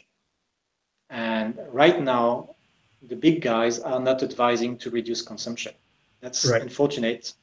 That's uh, that's that's the way it is. Right. So um, this reminds me of a difficult question that I always have to deal with, um, and um, which is related to the increase in efficiencies when you know you have some kind of environmental models, and it also has got to do with um, prices. Um, like you mentioned, you know, um, uh, they estimate uh, they they expect that there will be a rebound in you know consumption because uh, if we go with more efficient processes but then doing more uh, doing whatever we're doing right now more efficiently is a way in which we can you know improve the environment. So uh, we come to a paradox where um, what happens is if we have to provide services to more people then the services have to become cheaper right? And uh, the products have to become more cheaper. But then once that happens, because of uh, improvements in uh, environmental uh, processes, if that happens, then all of a sudden the consumption increases. And consumption, as you know, along with the population growth rate, these uh, those two are the largest, uh, one of the main drivers for all of the anthropogenic changes on, on this planet. So it comes to a paradox where you can't you either have to keep the price high um, or you have to um, like compromise on one of those things. I mean do you ever think about it in this way? Am i thinking in the right way or should i be thinking about this in a different point of view? Like what are your thoughts on this? Yeah. Uh, my thoughts on this is that efficiency is, is great. Uh, we understand efficiency very well in a linear economy. But what we forget is effectiveness. The, the concept of effectiveness is that what we will do in a circular economy will come back again and again to satisfy the needs of the people, to satisfy the needs of the society, to increase well-being. By effectiveness, you, you just imagine your uh, sustainability loop, the endless loop. So let's take again the example of the sun.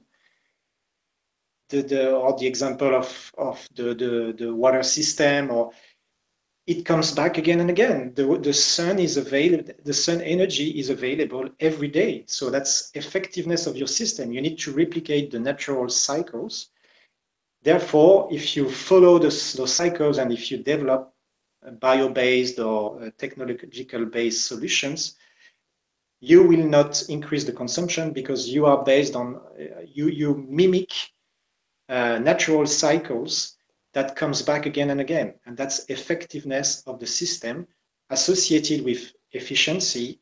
Then you have you have the, the right solution whereby you satisfy the needs of the people without putting more pressure on planet earth because these elements are coming back again and again and i'm and I know it's difficult in a fossil fuel and fossil based economy to understand that, but if you look at nature and how natural cycles uh, operates, uh, this is the way this is the way we are we should be doing. There is a great uh, example of a company called Glowee, and Glowee is based on uh, luminescent uh, technology, whereby they are now able to, I believe, uh, light, lighting up shops for uh, eight days in a row uh, with natural uh, lights. So all of a sudden, you move away completely from a fossil fuel mindset into a natural light, which is available endlessly. So your consumption should we should be able to think about consumption this way uh, by replicating uh, what we can learn from nature as one way. Right. Another concept would be the performance economy based on Walter Stahel uh, concept, whereby you grant access to the same product. That product for VIP customers like you and me uh, can evolve with the technology. Okay, your washing machine can evolve uh, through the year. So you are VIP customers. You access the machine, you pay per wash and that machine technology evolves through the years. Remember that technology, there are few rules to, uh, to use technologies in a circular economy. It has to absorb uh, CO2 emission. It has to reduce uh, uh, our footprint in, in such a way that we we can use that those technologies in closed loop without having putting pressure on resources. Um, and Right. Once once we uh, and we can access those those those those machines, uh, those products as a service, but for other people who cannot afford those those services, you can imagine those machines uh, technologies not evolving as fast as it, it would with us, and therefore decreasing the price of access to those technologies. That in such a way, your big machine brands in the world uh, now have these machines available uh, with the priority, with the objective of including more people into your economy. So therefore, even those machines as a service, they have been paid so many times over so many years that they could be now offered at a minimum price because the priority here is to include more people in your uh, economy uh, to avoid uh, all the negative externalities, uh, social externalities that we, we have to take into account nowadays. Right, right. So um, you're talking about a, service economy, and uh, during our test run, we also talked about this. Um, this is a model which is similar to um, drug companies, um, where um, in at least um, I know in India, drug companies can uh, pro- uh, produce a drug with a patent on it for about I think 10 years. And after that the patent um, and after that other companies can produce the same drug at a much uh, smaller cost and make it more, much more widely available. Uh, but i want to slightly um, uh, change gears here and then um, talk about uh, talk about the status of you know what's happening in circular economy. Uh, you've been very involved in this um, sector, so um, I know. The, the, so all of us know that circular economy has gained a lot of traction and um, a lot of companies have shown um, interest and support. Um, do you know, uh, you know, what's the status of implementation when it comes to implementing? What's the status? What do you see happening around the world, and who who's doing anything or who's doing better? Or you mean the status of implementation of circular economy project around the world, right? Uh, the concept of circular economy around the world. Or, well, the concept of circular economy around the world is definitely gaining momentum. Mm. Uh, there's been a launch in, uh, in India, you just mentioned India six months ago by the Ellen MacArthur Foundation. Um, They are, they are now uh, circular economy uh, conference events, uh, co-working groups, uh, I would say in, the, in all five continents, uh, including Latin America and Africa. lately, there was the first circular economy conference in, in South Africa back in May, and the first one in Latin America next week in, in Uruguay. So the momentum is there. The thing is that it's like the, the industrial economy. It has all started uh, in the UK or in the Western world. Um, so that's that so far has been developed by a Western mindset, uh, which is which is fine to me. But the circular economy needs to address the needs of emerging uh, economies as well, because we are still in that paradigm of competition over resources instead of collaboration. And we will definitely have to change that uh, mindset. And we will have also to change the fact that the Western economies are the model to follow uh, in the next century. Um, the emerging economies are the societies that have understood, to me, to my point of view, uh, a great way of keeping uh, some great well-being and some traditions and in Africa, for instance, most of the economies are below uh, the global footprint of 2.8 uh, global hectare per, per, habitant. And to me, it's a great, great advantage next to the way they collaborate between, between themselves. They have understood it all. So these two factors might see uh, continents like Africa or like Asia much faster in your circular economic mindset than the Western economies that have to learn how to live in, in collaboratively away from uh, competing at all costs. So we see a lot of, of examples. Uh, in Asia, the, uh, the ASEAN, ASEAN organization has issued a, a lot of examples uh, of what's happening in circular economy across, uh, across Asia. Uh, in Latin America, you now have two major conferences uh, organized uh, in the coming months. So things are happening.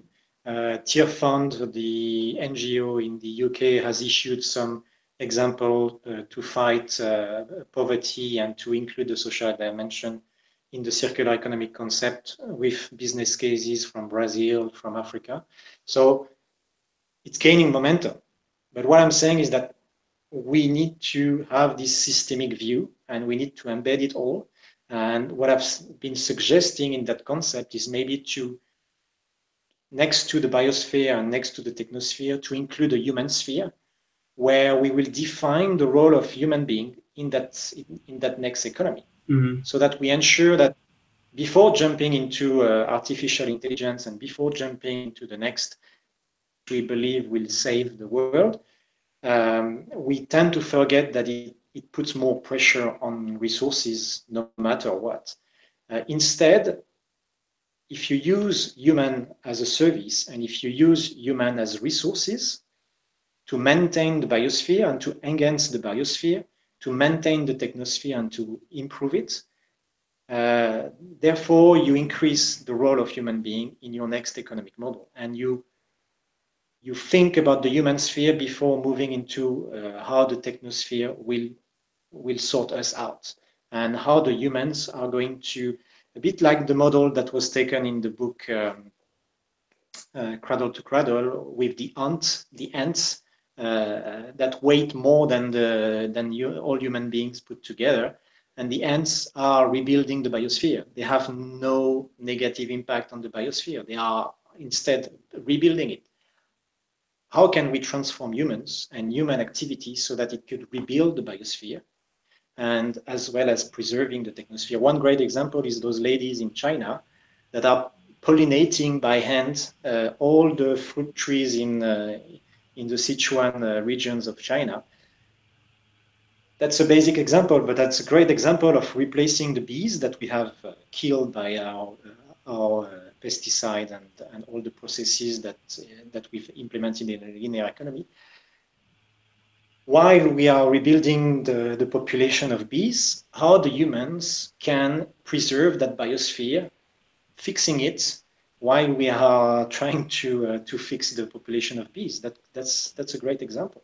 So beyond that that example, how can we John D. Liu, this uh, Chinese American uh, uh, uh filmmaker and uh, and permaculture expert, has rebuilt, uh, has uh, recreated uh, ecosystems in desert, turning them into lush lush forest with rivers. So we can rebuild the biosphere from the human by the human. So this is possible. So integrating that human sphere uh, into the butterfly diagram would be, in my view, a way to understand how we can enhance the role of humans in that next economic model before jumping into technology will save us all. And that's also a way to, as we said earlier in this uh, discussion, to see uh, how to use, uh, to optimize all the resources, including the human resources, to fix our economy and to fix our planet uh, while eradicating, seeing the end of poverty together with seeing the end of, of waste. Right. So um, that that um, brings me to a point which we've been making on the global dialogue so through Be Waste Wise um, in the past four and a half years. And uh, I'm an engineer. Uh, you know, I work with technology all the time but then um, we say that technology does not like like you said you know does not um, solve does not end uh, or does not save the human human race or uh, life on on this planet. Because um, it is after all uh, it, uh, it is after all a tool and it will help us do something faster better more efficiently but then it itself does not have a um, intention or um, it depends on the person or the group of efficiently people. but not effectively. Right exactly yeah so um, it, it, does not um, uh, it depends on the person or the group of people who are using that technology on what the technology finally does um, so uh, we are at this point i think looking for um, a shift in how we think about resources uh, um, a shift in uh, in the, our mind frameworks on how we think about uh, our planet and well-being. Um, so let me ask you um, about, uh, so we've talked about the theory on how, um, you know, what we should do and how we should include poverty in the circular economy framework.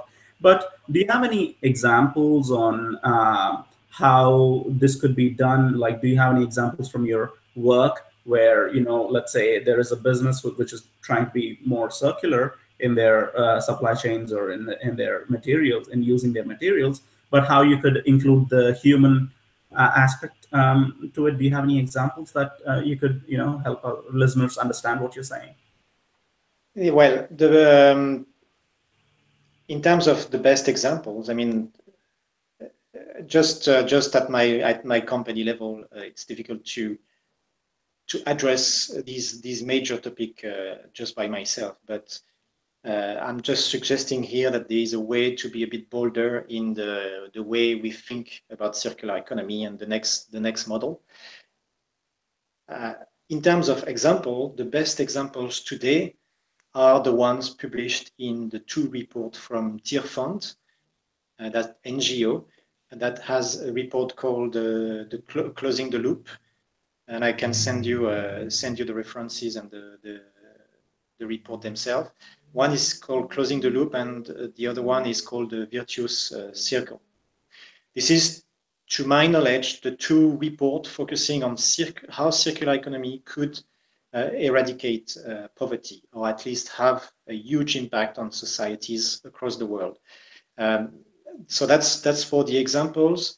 Uh, in terms of uh, my work and where this is all going, well, my work is mainly on measuring projects, services, and possibly products uh, impact on society. Okay, I, I work on impact assessment uh, report, and I put a value on change, whether you have a linear product compared to a circular uh, services, uh, how that circular services will enhance society. How are we going to be satisfied uh, by that circular services what uh, whether that circular services will generate more well-being uh, to the targeted population. That's that's the work I do. What kind of metrics do you Obviously, to the match the metric obviously I, I work more on linear project than circular projects today, but the conclusion of these reports always tend to help uh, the designer of those projects and programs to focus more on circularity. Uh, in terms of metrics, well, there are many metrics available out there, so I don't need to recreate the metrics. Uh, the Ellen MacArthur Foundation issued some metrics. Uh, other designers and, uh, and organizations have issued uh, circular economy indicators. So these indicators are there, available. But I don't come up with a, a wallet full of indicators because it doesn't work that way.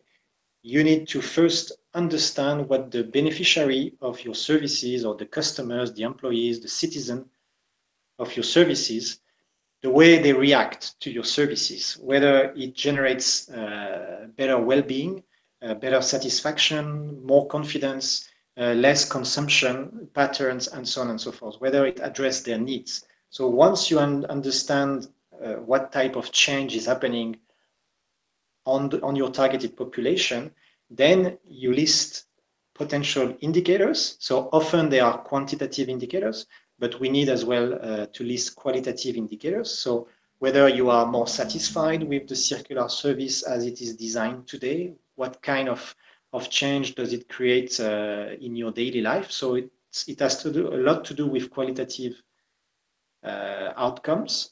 And once we understand those outcomes, we list as many indicators, quantitative and qualitative as possible. So you pick them up from circular uh, economic uh, indicators that have been designed by experts, but you also pick them up from well-being uh, indicators and qualitative uh, indicators. And once you have proven that change, that change is really happening, that that circular project is generating more well-being and more satisfaction than the linear uh, product. And on top of that, it has a lesser footprint and it, it, it is based on the circular economic principles. And I, I also have suggested to list uh, a list of outcomes, priority outcomes based on the butterfly diagram, which is available uh, on, on LinkedIn. It's called Optimizing Circular Value. So once you understand all those priority outcomes, you put measurement uh, indicators in front of them, you prove that they, they are happening, that circular economic rebound is avoided, that satisfaction has increased, and then you, you apply a value uh, on that change. So what we do is that we we estimate the opportunity cost, avoided cost, all the externalities that are uh, that are monetized, and we explain to management of companies, to governmental teams, that these services is providing these benefits is avoiding this kind of rebound, is diminishing the, the consumption overall. And we provide as well ways to uh, redesign uh, that, that service or programs uh, in, the, in the future by uh, doing a sensitivity analysis now that we have a lot of data available. So that's, that's how we do it. Right now, one final question is, um, so uh, for circular economy to work, I mean, businesses, I mean, it started as a business movement I mean, businesses are uh, should be a uh, um, part of it. But um, when it comes to um, so for, if a CEO of a business, if, if he has to um, um, convince his shareholders that you know this is a path that we should take, then you know what are the drivers um, that a company would do something like this? I I know savings could be a big driver, but are we there yet where uh, taking these steps would create a lot of savings for the company? And um, also, in addition to savings, what are the drivers that a CEO could, uh, you know, factors that a CEO could use to convince their shareholders, you know, uh, who are mainly investing in the in the company mostly for yeah the the, the savings mindset uh, is obviously the, the mindsets we, we see today in a, in a linear economy where we try to uh, to reduce cost as much as we can and sell uh, sell as many products as we as we can. That's that's your uh, output uh, output process. But um, the in your circular economy, the advantage is that now it's not about saving uh, the last penny. It's about innovating. It's about how am I going to shift around my business model?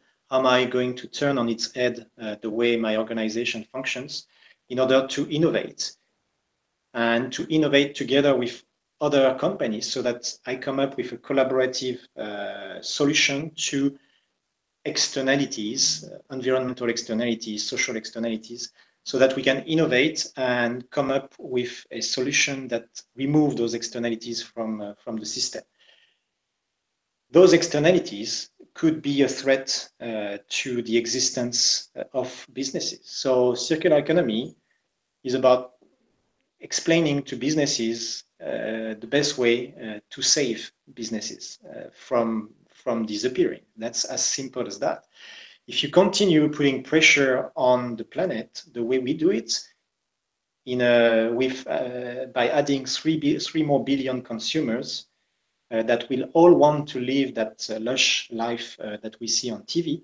therefore, we will put so much pressure on the on the earth that at the end of the day, your businesses will run out of water, will run out of uh, fossil uh, to, to, to, to make the product, and uh, will run out of energy. So if you don't come up with this mindset shift of circular thinking by saying, how am I going to address the next ex externality? How am I going to address my water supply in an effective way and my energy supply differently from the fossil fuel mindset? Uh, your your business might well be uh, disappearing. So yeah. it's not only uh, it's not only a concept that generates so many innovation for the future of your company. Right. It's also a survival. Concept. Yeah. So uh, this this works for um, large um, companies, you know, which have um, uh, interest in um, staying staying in business for you know um, hundreds of years. Uh, but um, how does it work uh, for small and medium enterprises who who are dealing with much different challenges? I mean, uh, they're actually thinking about next month, next you know, getting revenues in the short term so that they could survive um, longer. So, um, what kind of drivers or what's happening in the small and medium um, business sector with, with respect to circular economy and what they could do? So, we have only five more minutes. So, you know, um, you could um, maybe answer to this question about small and medium enterprises and circular economy and also have if you have any conclusions you know you could uh, conclude with those.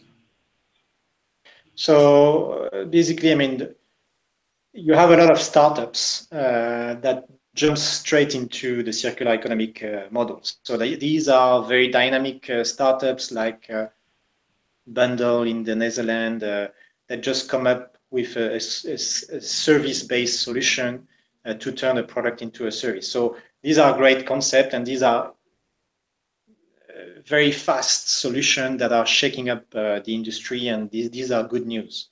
Uh, obviously, the large companies are, are already being addressed by uh, the World Business Council for Sustainable Development, the Ellen MacArthur Foundation, the, the World Economic Forum. These are large organizations helping those large companies uh, figure out how to innovate uh, in, the, in this next economy. The SMMEs are not being addressed as we speak. There is no organization, to my knowledge, or very few only, that help the SMMEs uh, address, uh, embrace this next economic model. And we need we need an organization, be it uh, at national or in, international level, that drives those uh, small to medium sized uh, enterprises to talk to each other, to collaborate between each other, and to come up with comprehensive uh, service-based solutions so that they can create and address uh, the consumer needs uh, in, in clever ways by saying, I'm missing that, that piece of the puzzle uh, in order to offer uh, the service to my, uh, to my consumer, or I'm, I'm missing one technology or one solution. Can we, can we work together with different comprehensive solutions so that uh, put together, this could be a very innovative uh, new approach. So the SMMEs, the advantage of the SMMEs is that they are locally based. So in a distributed economy, this is what we want and that's what we, we need. So the circular economy is the economy of so small to medium sized enterprise, but today they are not being helped to uh, flourish in such an, an, economy. So that's, in my view, missing. And that's, in my view, the solution, the, the foundation to our uh, next economic model. That's going to be a localized, uh, localized enterprise delivering a service to the to the urban uh, hub uh, instantly, basically. So that's uh, that's missing, unfortunately. But collaboration is the key the key element here for SMMEs, and there's there's a need of having an, this organization as a glue to put uh, the right the right SMMEs to talk to each other, like we do in industrial uh, ecology and symbiosis, basically. Right. The same same approach. Right. Great. So in conclusion, uh, I would say that is, this circular economic model brings brings us hope because we see a lot of uh, surveys about the CO2 pressure, the recent surveys saying that there is 1% chance to uh, to be uh, below the 1.5 degree at the end of the century, 5% uh, uh, below 2 degrees. We all know that at 2 degrees, the, the world will be a, will be a very, very difficult place to, to live in. Uh, and if you have children, uh, they will turn uh, 70, 75 by the end of this century. Uh, therefore, uh, your children will not be able to, to live that life that uh, we all enjoyed so far. So circular economy brings proper answers to reducing CO2 pressure by innovating, by thinking circularly, what I'm just saying is that we need to be careful that circular economy is designed for every single human being on this planet. We are all hearing uh, by the big international organization that the future is about jobless growth. These are two terrible words. The future is not about jobless growth. The future is about advancement, human advancement, and it's about how to find ways to use human as a resource, as energy, as service, so that we can all live a very well-being uh, and enjoyable life. And jobless growth is not going to be the future we all wish to have because those who are saying that are just thinking that technology will save us all. Again, we are running out of resources, so technologies are based on those resources. Therefore, this is a limited way of thinking. On the other hand, we have plenty of people. We are going to 10 plus billion people in this planet. So how are we going to use the, them as energy and services and resources to fix uh, the, the, many challenges that we foresee uh, by the end of the century? So that's, I believe, another dimension that we need to think together with being measured against value creation. And that's that's if you if you manage to embrace these two two additional dimensions, you have now a future with a lot of hope. And it maybe sounds a bit utopian, but we all need a bit of utopia uh, in our life. Uh, but if you understand biomimicry, natural cycles, permaculture, blue economy uh, very well, the, and the regenerative economy, especially how do you regenerate uh, resources, you can hear what I'm saying about using human more intelligently. And one great example uh, to end this conversation is the Ex'tax project, which is asking governments, it's starting in Europe, but hopefully it will uh, spread across the world, to remove tax on manpower or to at least diminish uh, dramatically tax on manpower and to increase tax on fossil fuel and fossil-based uh, products. And that's to me one great pathway towards this circular economy 2.0 concept. Great. Um, thank you very much, Alex. Um, so um, this reminds me of something. Um, I, I uh, always, um, I think when I was really young in my teenager, uh, teenage years, um, I think back then I knew that I wanted to be in the environmental field because when uh, in my teenager years I was still part of the future generation for, at that point of time. but I was already thinking about my future generations and you know what will happen to them. Uh, and um, I always wanted to be in the environmental field, and I think I'm living my dream now. So you know, I'm an environmental consultant, and um, as part of this, I spent um, I worked um, for quite a while in Abu Dhabi, um, not very far from Dubai, where where you worked, and um, and my work there, I, I, mean, Abu Dhabi, I mean, it just blew my mind when I went there. I mean, it's so amazing, you know, so um, the hotels or the everything that they do is just so amazing. It, it just blew my mind, the buildings and everything.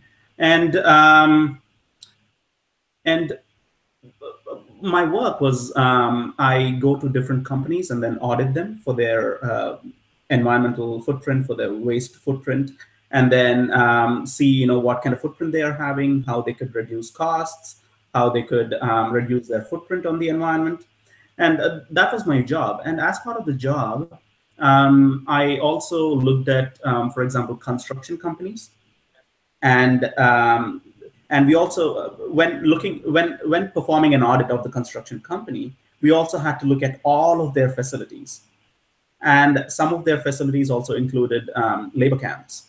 So um, uh, I also used to visit labor camps quite often uh, to audit, you know, the construction facilities and the living conditions there. I'm not sure if you've ever been to one of them, but the living conditions there are um, terrible. You, you, just can't imagine. And these are immigrants from some other country coming to this country to work there.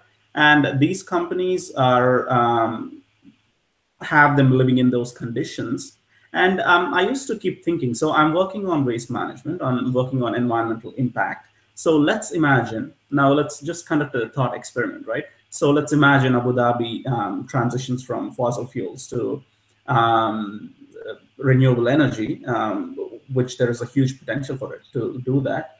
Um, but um, looks like the, the, the, the speed is not as fast as we, we expected while I was there but still, let's let's consider that um, Abu Dhabi uh, or the entire UAE moves to renewable energy, and then the systems, the material flows are much more circular. Let's assume, let's get to that point. And now, in that situation, in that uh, utopian future, if that was happening, and the people who are working on this were still living in labor camps, you know, is that a future that you know we would like to be a part of? you know, I started as an environmental consultant. That would be the best. Uh, well, the part where there are circular flows and renewable energy, that would be the best future that I could hope for. But then, on the other hand, um, people are not living in very good conditions. The people who built all of this are not living in very good conditions. So, uh, I mean, that's the question that keeps, uh, you know, um, uh, keeps uh, turning me more towards not just being an environmental consultant, but also being very conscious of the societal impacts that we're having and you know what kind of future that we need and i think this is a question that all of us should ask whether that is a future that we want to actually live in. And um, some of them some of us might think that you know oh abu dhabi is uh, an extreme example. And it is an extreme example of our current system. But then um, if you actually look at um, look at it look at what we're doing around the world it is just the extreme example um, not very different from what we're doing, but it's just the extreme. So we're all doing it, and we have to rethink about um, how we do this and what kind of future that. Um, yeah. so yeah, with that, I think um, yeah, we're out of time. I, I I wasn't expecting this towards the end, so. Okay. Now, yeah. just just to to address your point, I mean, Abu Dhabi, Dubai are, uh, the example that you, you just mentioned. But the thing is that you make other other cities dream to be like Abu Dhabi and Dubai, and Lagos wants to be like Abu Dhabi and Dubai. Uh, Cairo wants to be like Abu Dhabi and Dubai, and you name it. I mean, the number of cities which wants to be like Abu Dhabi and Dubai, Addis Ababa. But imagine billions of African, Asian, Latin Americans who wants to be like Dubai. I mean, where are we going to end up this way? So instead, let's make sure that these collaborative societies show the way to the rest of the world how to collaborate, how to live uh, a decent life uh, by, by sharing uh, resources, by using and optimizing all these resources in clever ways by reinventing uh, the next economic model. Based on the circular thinking, but not to forget the social dimension because Europe will move fast in a circular economic model. That's fine for the VIP uh, people, uh, citizens of Europe, but, um, but they will still see those migrants, economic migrants coming to Europe and not understand the relation between the way they, cons the, they consume and why we have so many uh, Africans and people from the Middle East migrating to Europe. There is a disconnect, and that disconnect needs to be fixed if we want circular economy to be the next economic model. Right, great. Um, I think we should end um, session here. Um, but uh, I just wanted to say that um, uh, certain people, when we're we're all really busy people, you know, working on our areas of expertise, and certain people say, oh, so should circular economy also worry about all these other problems when we're doing trying to do something else? And this was a question that I asked to one of our uh, future uh, panelists, uh, Olivia Lapierre. She talks about how uh, the conversation on environmental sustainability should be more diverse should also include the populations which will be more affected by um, such uh, uh, by climate change. And I asked the same question. So we're already working on all these other issues. So, so should we also talk about? Uh, should we also worry about representation of different populations? And then she says you don't have to really choose between identities. Like you know, if you're a uh, if you're an environmental engineer, doesn't mean that you stop being an Indian, an immigrant in a different country. So um, so uh, I thought that was really interesting, and I think we should all like you know don't have to choose between different uh, identities or different visions. Yeah. No, you, you need to address address the needs of the people uh, to make sure that the people are, are are satisfied with their life where they are. Okay, fixing the population where they are. I mean, if they the population wants to move, they, they, they want to move, but as long as it's it's not an economic move or a poverty-based move, uh, addressing the needs of the people and in such a way that it's effective, i.e., there is no more footprint. We uh, develop solution that addresses the needs of the people without having any externalities uh, and moving us away. The footprint concept is a linear concept. Uh, in circular economy, since you are in a regenerative economic model, there's no more footprint. So you satisfy the needs of the people in an effective way, in an efficient way, so that they it's constantly regenerative. You constantly bring them water, food, uh, energy based on renewable systems that not only are renewable but provide even more abundance. Like like in nature, if you if you if you leave your garden uh, without being maintained, nature will take over and uh, the insects and the, the, the, trees will come back. So abundance exists in nature and we don't understand that as human being. And uh, there is a way to do that. Obviously, it will take time to reach that um, abundance and regenerative level, but we need to start. Right, right. Yeah, great. Um, thank you very much, Alex. Um, thanks for your um, extra time. Uh, this discussion did um, go a little longer than expected. So um, we will try to publish the entire discussion. But uh, in case if we have to edit, we will let you know uh, what parts will be edited. So yeah, great. Thank you, Alex. Um, thanks everyone for listening. And if you have any questions, this is a pre-recorded interview, so you'll not be able to engage live with the speaker. But if you have any questions, um, tweet to us with the hashtag waste dialogue. Waste dialogue is W-A-S-T-E D-I-A-L-O-G. Or you could also write to us at uh, connect at wastewise.be, and we'll get your questions and comments answered. So thank you again, and um, please uh, watch the other, um, please uh, make sure you register for the other um, themes that are happening, which are practicing waste management um, and also collective action. Um, so yeah, thank you very much, and uh, have a good day, good evening, good night. Thank you.